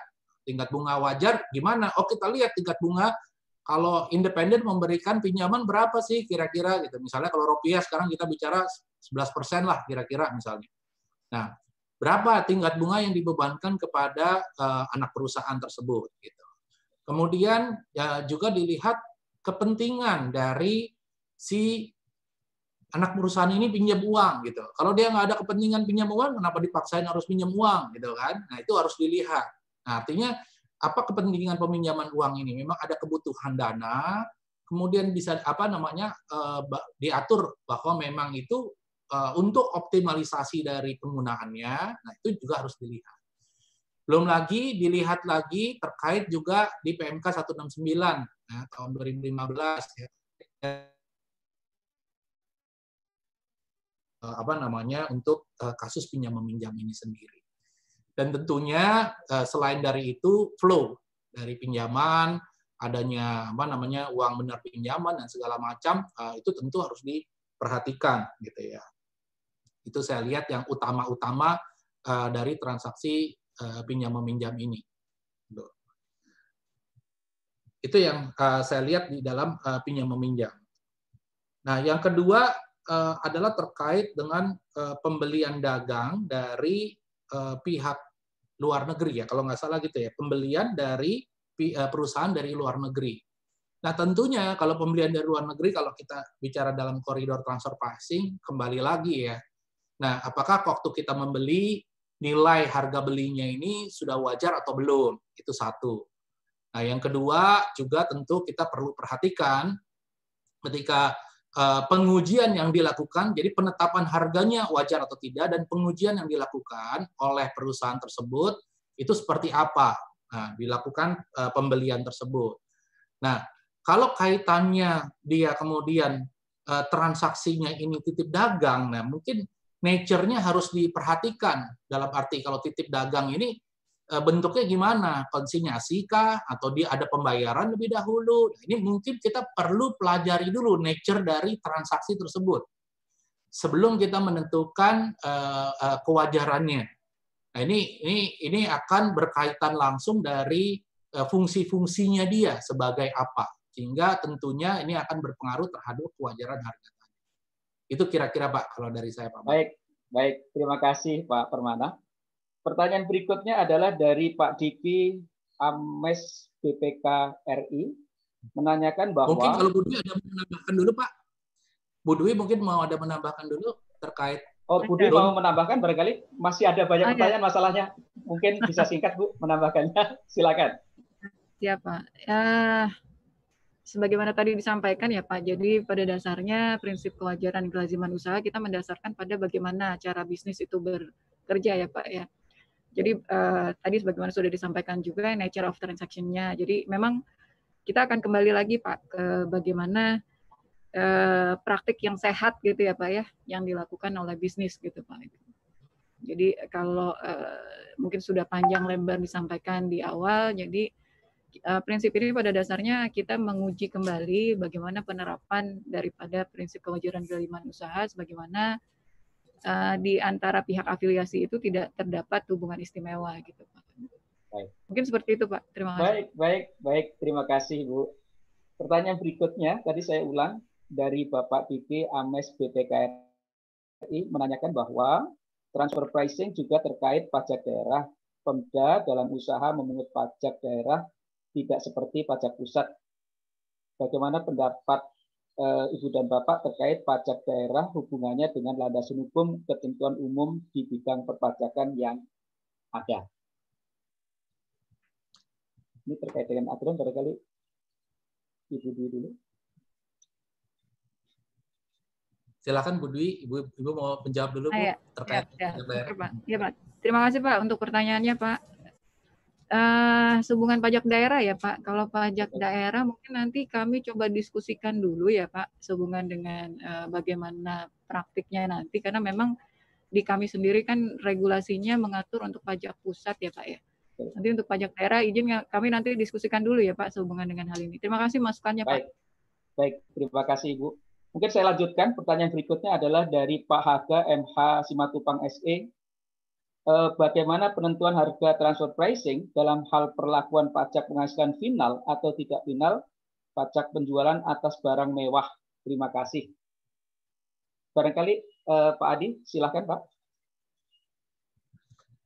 Ya baik, kalau kita mengacu kepada eh, Per 32 tahun 2011, memang eh, betul sekali pertanyaan Bapak tepat sekali bahwa memang itu diatur atas transaksi perusahaan antara Eh, perusahaan yang memiliki pajak final maupun juga non final bertransaksi, tentunya ini akan menimbulkan um, ada dampak isu transfer pricing di sini, Pak. Dalam dalam aturan Per 32 uh, eh, yang diatur oleh Perdijen 32 tahun 2011 ini sudah diatur bahwa betul sekali apabila perusahaan lokal dengan lokal atau domestic transaction tentu ini akan ada isu transfer pricing. Begitu juga uh, terkait dengan uh, uh, apa pajak dengan barang mewah, betul Pak. Setuju itu bahwa ini akan koridornya sudah diatur. Baik, baik, terima kasih Pak. Berikutnya adalah dari uh, Ibu Nur Hasanah, Politeknik Rafflesia. Bagaimana cara Dirjen Pajak untuk mendeteksi transaksi yang berupaya melakukan tax evasion? Barangkali Ibu Dwi bisa menjelaskan, Bu. Ya, terima kasih Pak untuk pertanyaannya. Itu sebagaimana sudah disampaikan ya Pak oleh Pak John dan oleh Pak Permana juga ya Pak. Kan sebenarnya dengan adanya uh, apa namanya self assessment daripada wajib pajak, makanya di sini di sini kan kami mengharapkan memang uh, terdapat voluntary compliance ya Pak, kepatuhan sukarela daripada wajib pajak untuk melaporkan penerapan prinsip kewajaran yang kelaziman usahanya di Tipidok dan kemudian risamnya itu dilampirkan di SPT tahunan PPA Badan ya Pak.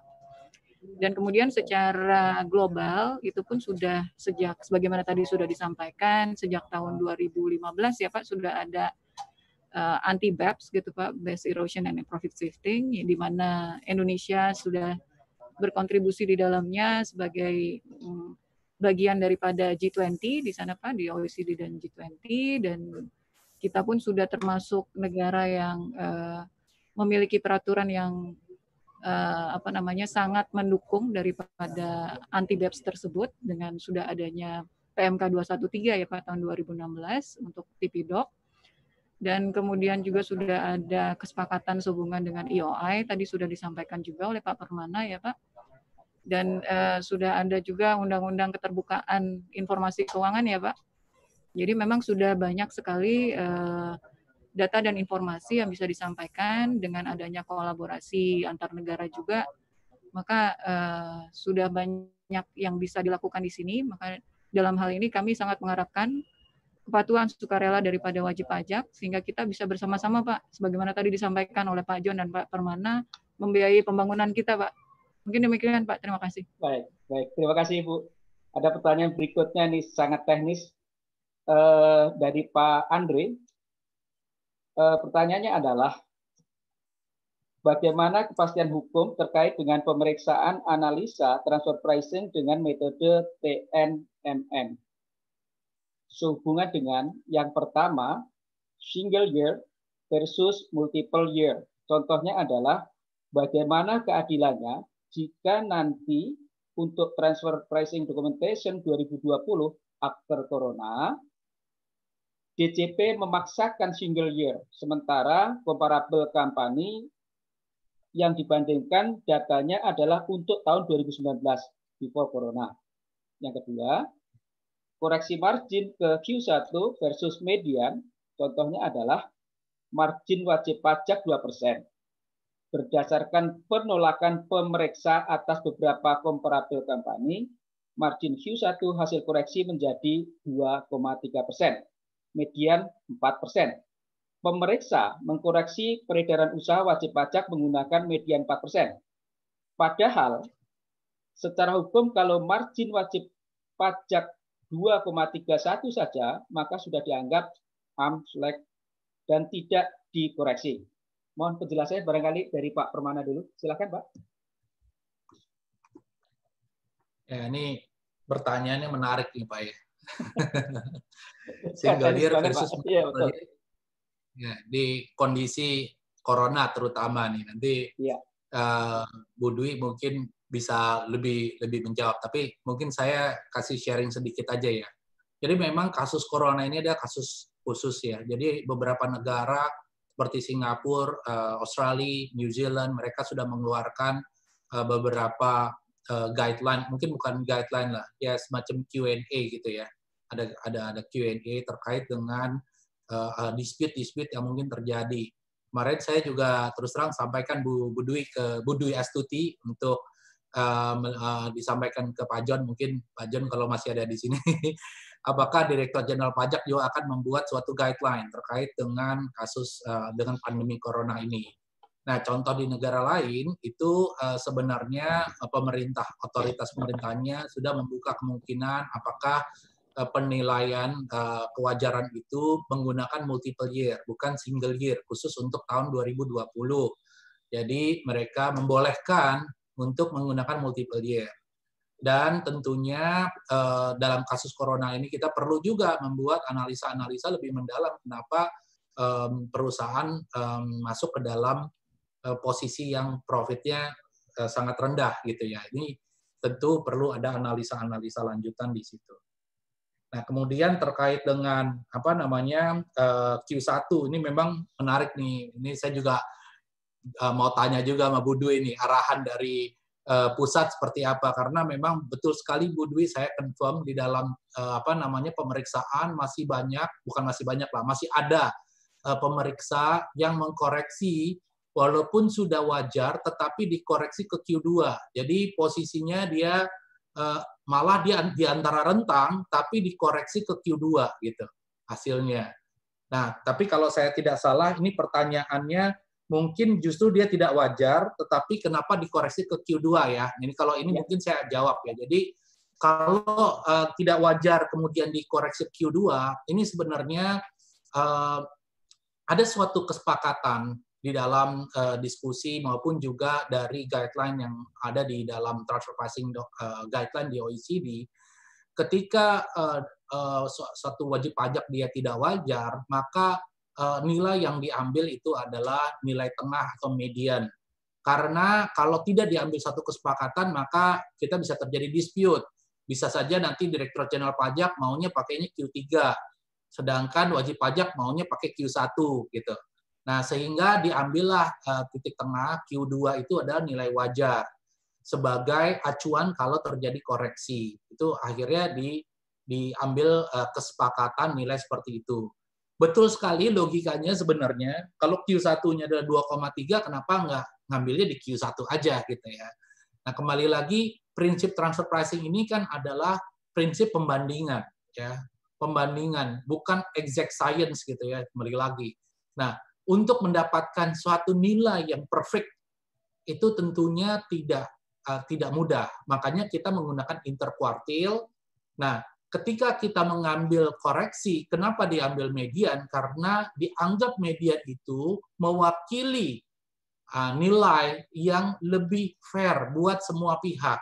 Ya, lebih fair buat semua pihak sehingga diambillah nilai tengah.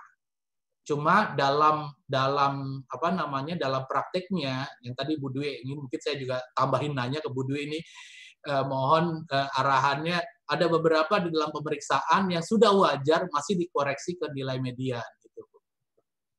Itu Pak. Baik, Itu terima kasih saya, Pak Permana. Mohon Bu Dwi menyampaikan terkait regulasi barangkali eh, agar wajib pajak ini lebih kompleks terhadap peraturan yang berlaku. Silakan Bu Dwi. Baik Pak, terima kasih Pak. Ya Pak, sebagaimana sudah disampaikan Pak John dan tadi juga sudah disampaikan oleh Pak Permana, memang uh, Direktorat Jenderal Pajak sudah menerbitkan yang terakhir PMK ya Pak PMK 22 2020.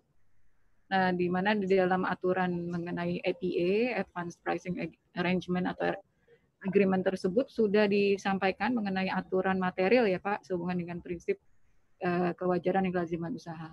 Memang di sana eh, hal-hal uh, yang masih uh, menjadi dispute gitu Pak, itu sudah coba untuk dicarikan solusinya Pak. Dan dengan demikian maka sebagaimana tadi sudah, sudah disampaikan juga dalam hal uh, kepastian hukum, maka uh, EPA menjadi jalan yang terbaik Pak. Karena memang kalau saya bisa uh, apa namanya simpulkan ya Pak dari pengalaman selama lima tahun saya menjabat di sini, memang uh, kadang wajib pajak yang ada di Indonesia gitu Pak ya banyak menyampaikan bahwa keputusan tetap ada di induk misalnya seperti itu. Maka dengan adanya bilateral APA gitu ya Pak ya, bilateral advance pricing arrangement atau agreement, maka bisa hal-hal seperti ini bisa dimitigasi Pak, bisa diselesaikan dengan baik gitu Pak. Jadi memang eh, kesepakatan kemudian diambil antara otoritas pajak Indonesia dengan otoritas negara di mana induk daripada wajib pajak itu ada gitu Pak. Cuma sekali lagi kita memang mendasarkan di sini pada keadaan yang sebenarnya ya Pak. Jadi bagaimana cara Baik. bisnis itu bertransaksi dan keadaan sebenarnya. Dan uh, sudah ada aturan-aturan uh, yang disampaikan di sana bagaimana cara uh, wajib pajak bisa menyampaikan dan syarat-syarat ketentuan untuk pengajuan daripada EPA.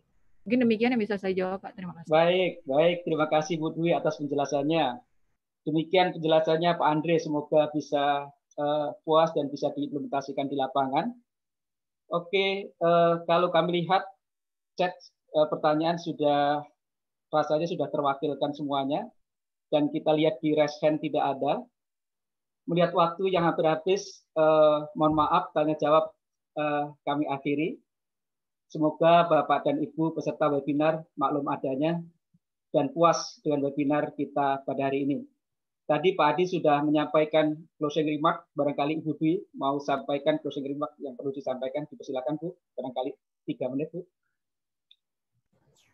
Ya, terima kasih Pak. Uh, sebelumnya kami mengucapkan terima kasih Pak atas uh, diselenggarakannya acara ini. dan sekaligus juga bisa melakukan diseminasi Pak sehubungan dengan adanya PMK 22 2020 di mana uh, uh, FPA sendiri menjadi hal yang bisa di menjadi fasilitas ya sebagaimana tadi disampaikan yang bisa disam, uh, dilakukan oleh wajib pajak untuk menentukan harga transfernya Pak. Uh, namun demikian sekali lagi mohon uh, untuk dipastikan bahwa yang dilakukan di sana atau diajukan uh, untuk uh, FPA tersebut adalah sebagaimana yang sudah disampaikan uh, sudah ditentukan di aturan PMK dua-duanya gitu Pak. Jadi sekali lagi uh, kewajaran adalah setelah kebenaran ya Pak. Maksudnya dalam arti kita pastikan dulu bahwa transaksinya itu benar adanya, benar terjadi gitu ya Pak ya. Baru kemudian kita nilai kewajarannya seperti apa. Mungkin demikian Pak. Terima kasih Baik. banyak lagi. Assalamualaikum warahmatullahi wabarakatuh. Selamat pagi. Baik, terima kasih Ibu. Uh, tidak bermaksud menyimpulkan, uh, kami sedikit mengulang bahwa transfer pricing ini adalah isu yang sudah cukup lama sebenarnya dan tetap menarik sampai saat ini.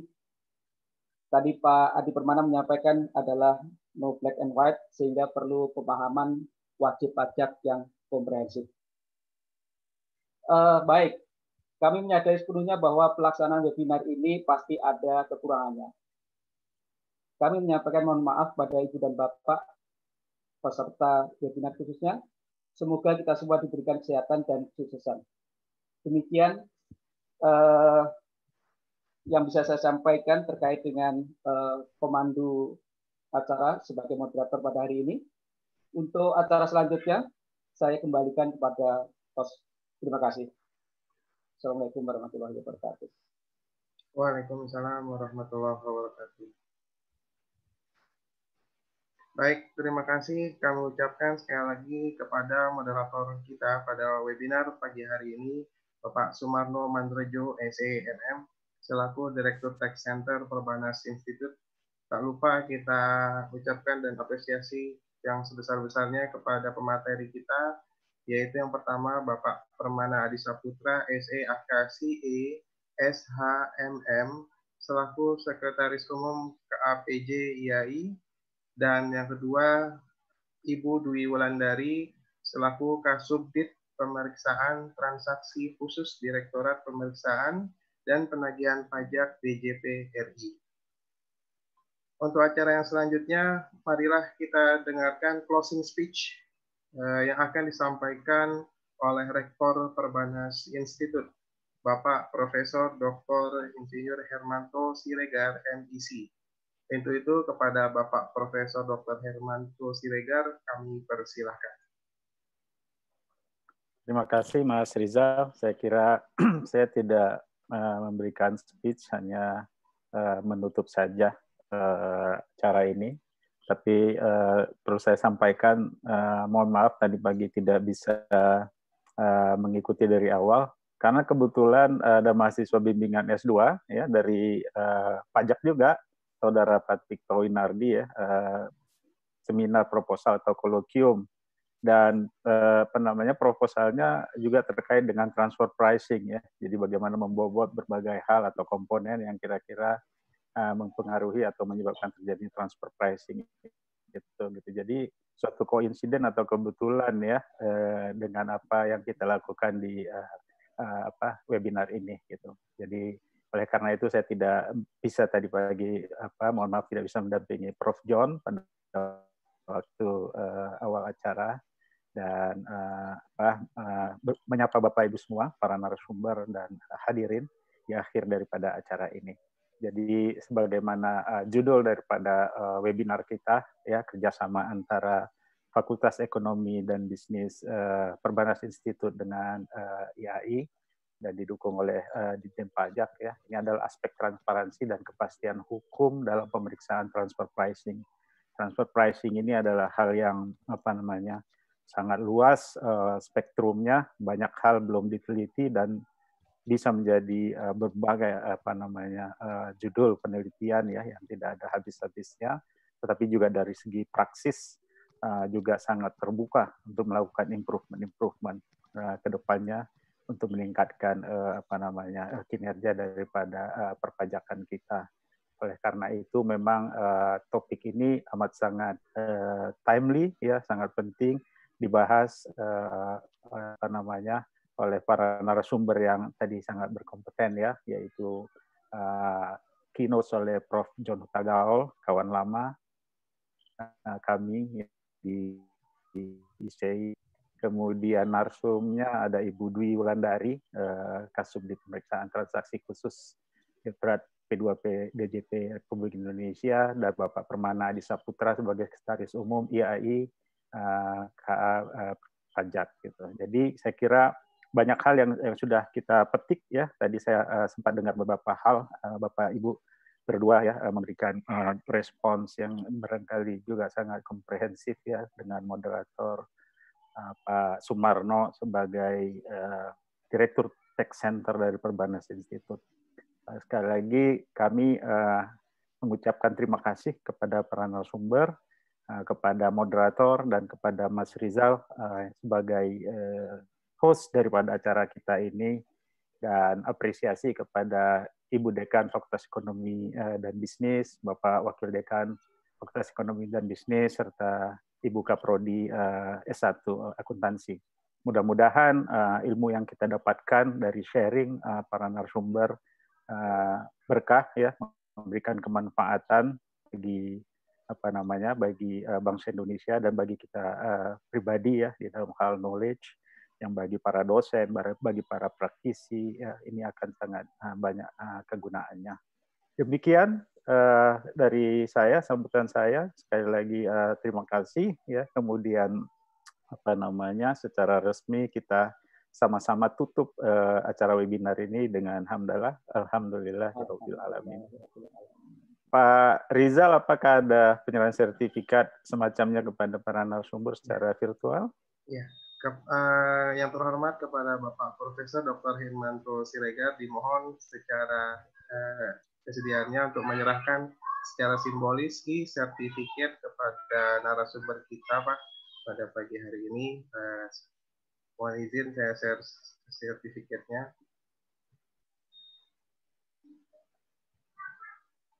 Ya, jadi pertama kami secara virtual menyampaikan pada yang kami hormati Bapak Prof. Eh, John Hutagao eh, yang telah memberikan keynote speech eh, kepada kita semua. Lalu selanjutnya kepada Bapak Permana Adi Saputra SEAKCA SHMM uh, sebagai pembicara dan satunya lagi yaitu kepada Ibu Dwi Wulandari.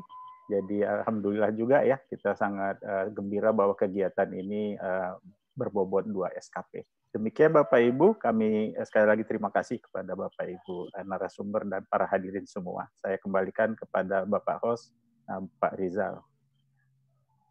Baik, eh, terima kasih kepada eh, kami ucapkan kepada Bapak Profesor Dr. Insinyur Hermanto Siregar MIC selaku Rektor Perbanas Institut yang telah terkenan untuk menutup acara webinar kita pada pagi hari ini. Sebelum kita tutup, eh, untuk berkenan kiranya pada Bapak Ibu menyalahkan video, kita akan eh, dokumentasikan acara webinar pada pagi hari ini. Baik, eh, teman-teman co-host dimohon untuk bersiap pengambilan foto dokumentasi acara webinar sebelum kita tutup. Baik, eh, saya persilakan kepada Bapak Ibu peserta hadirin untuk menyalakan video dan teman-teman co-host kiranya berkenan untuk mengambil fotonya. Baik, sesuai aba-aba saya. Satu, dua, tiga. Baik, silakan diambil fotonya Bapak Ibu. Teman-teman kohos, mohon ditunggu sebentar lagi. Oke. Cukup teman-teman kohos sudah sudah terambil fotonya. Baik, kalau sudah uh, terambil, terima kasih uh, atas kesediaannya untuk kita foto bersama.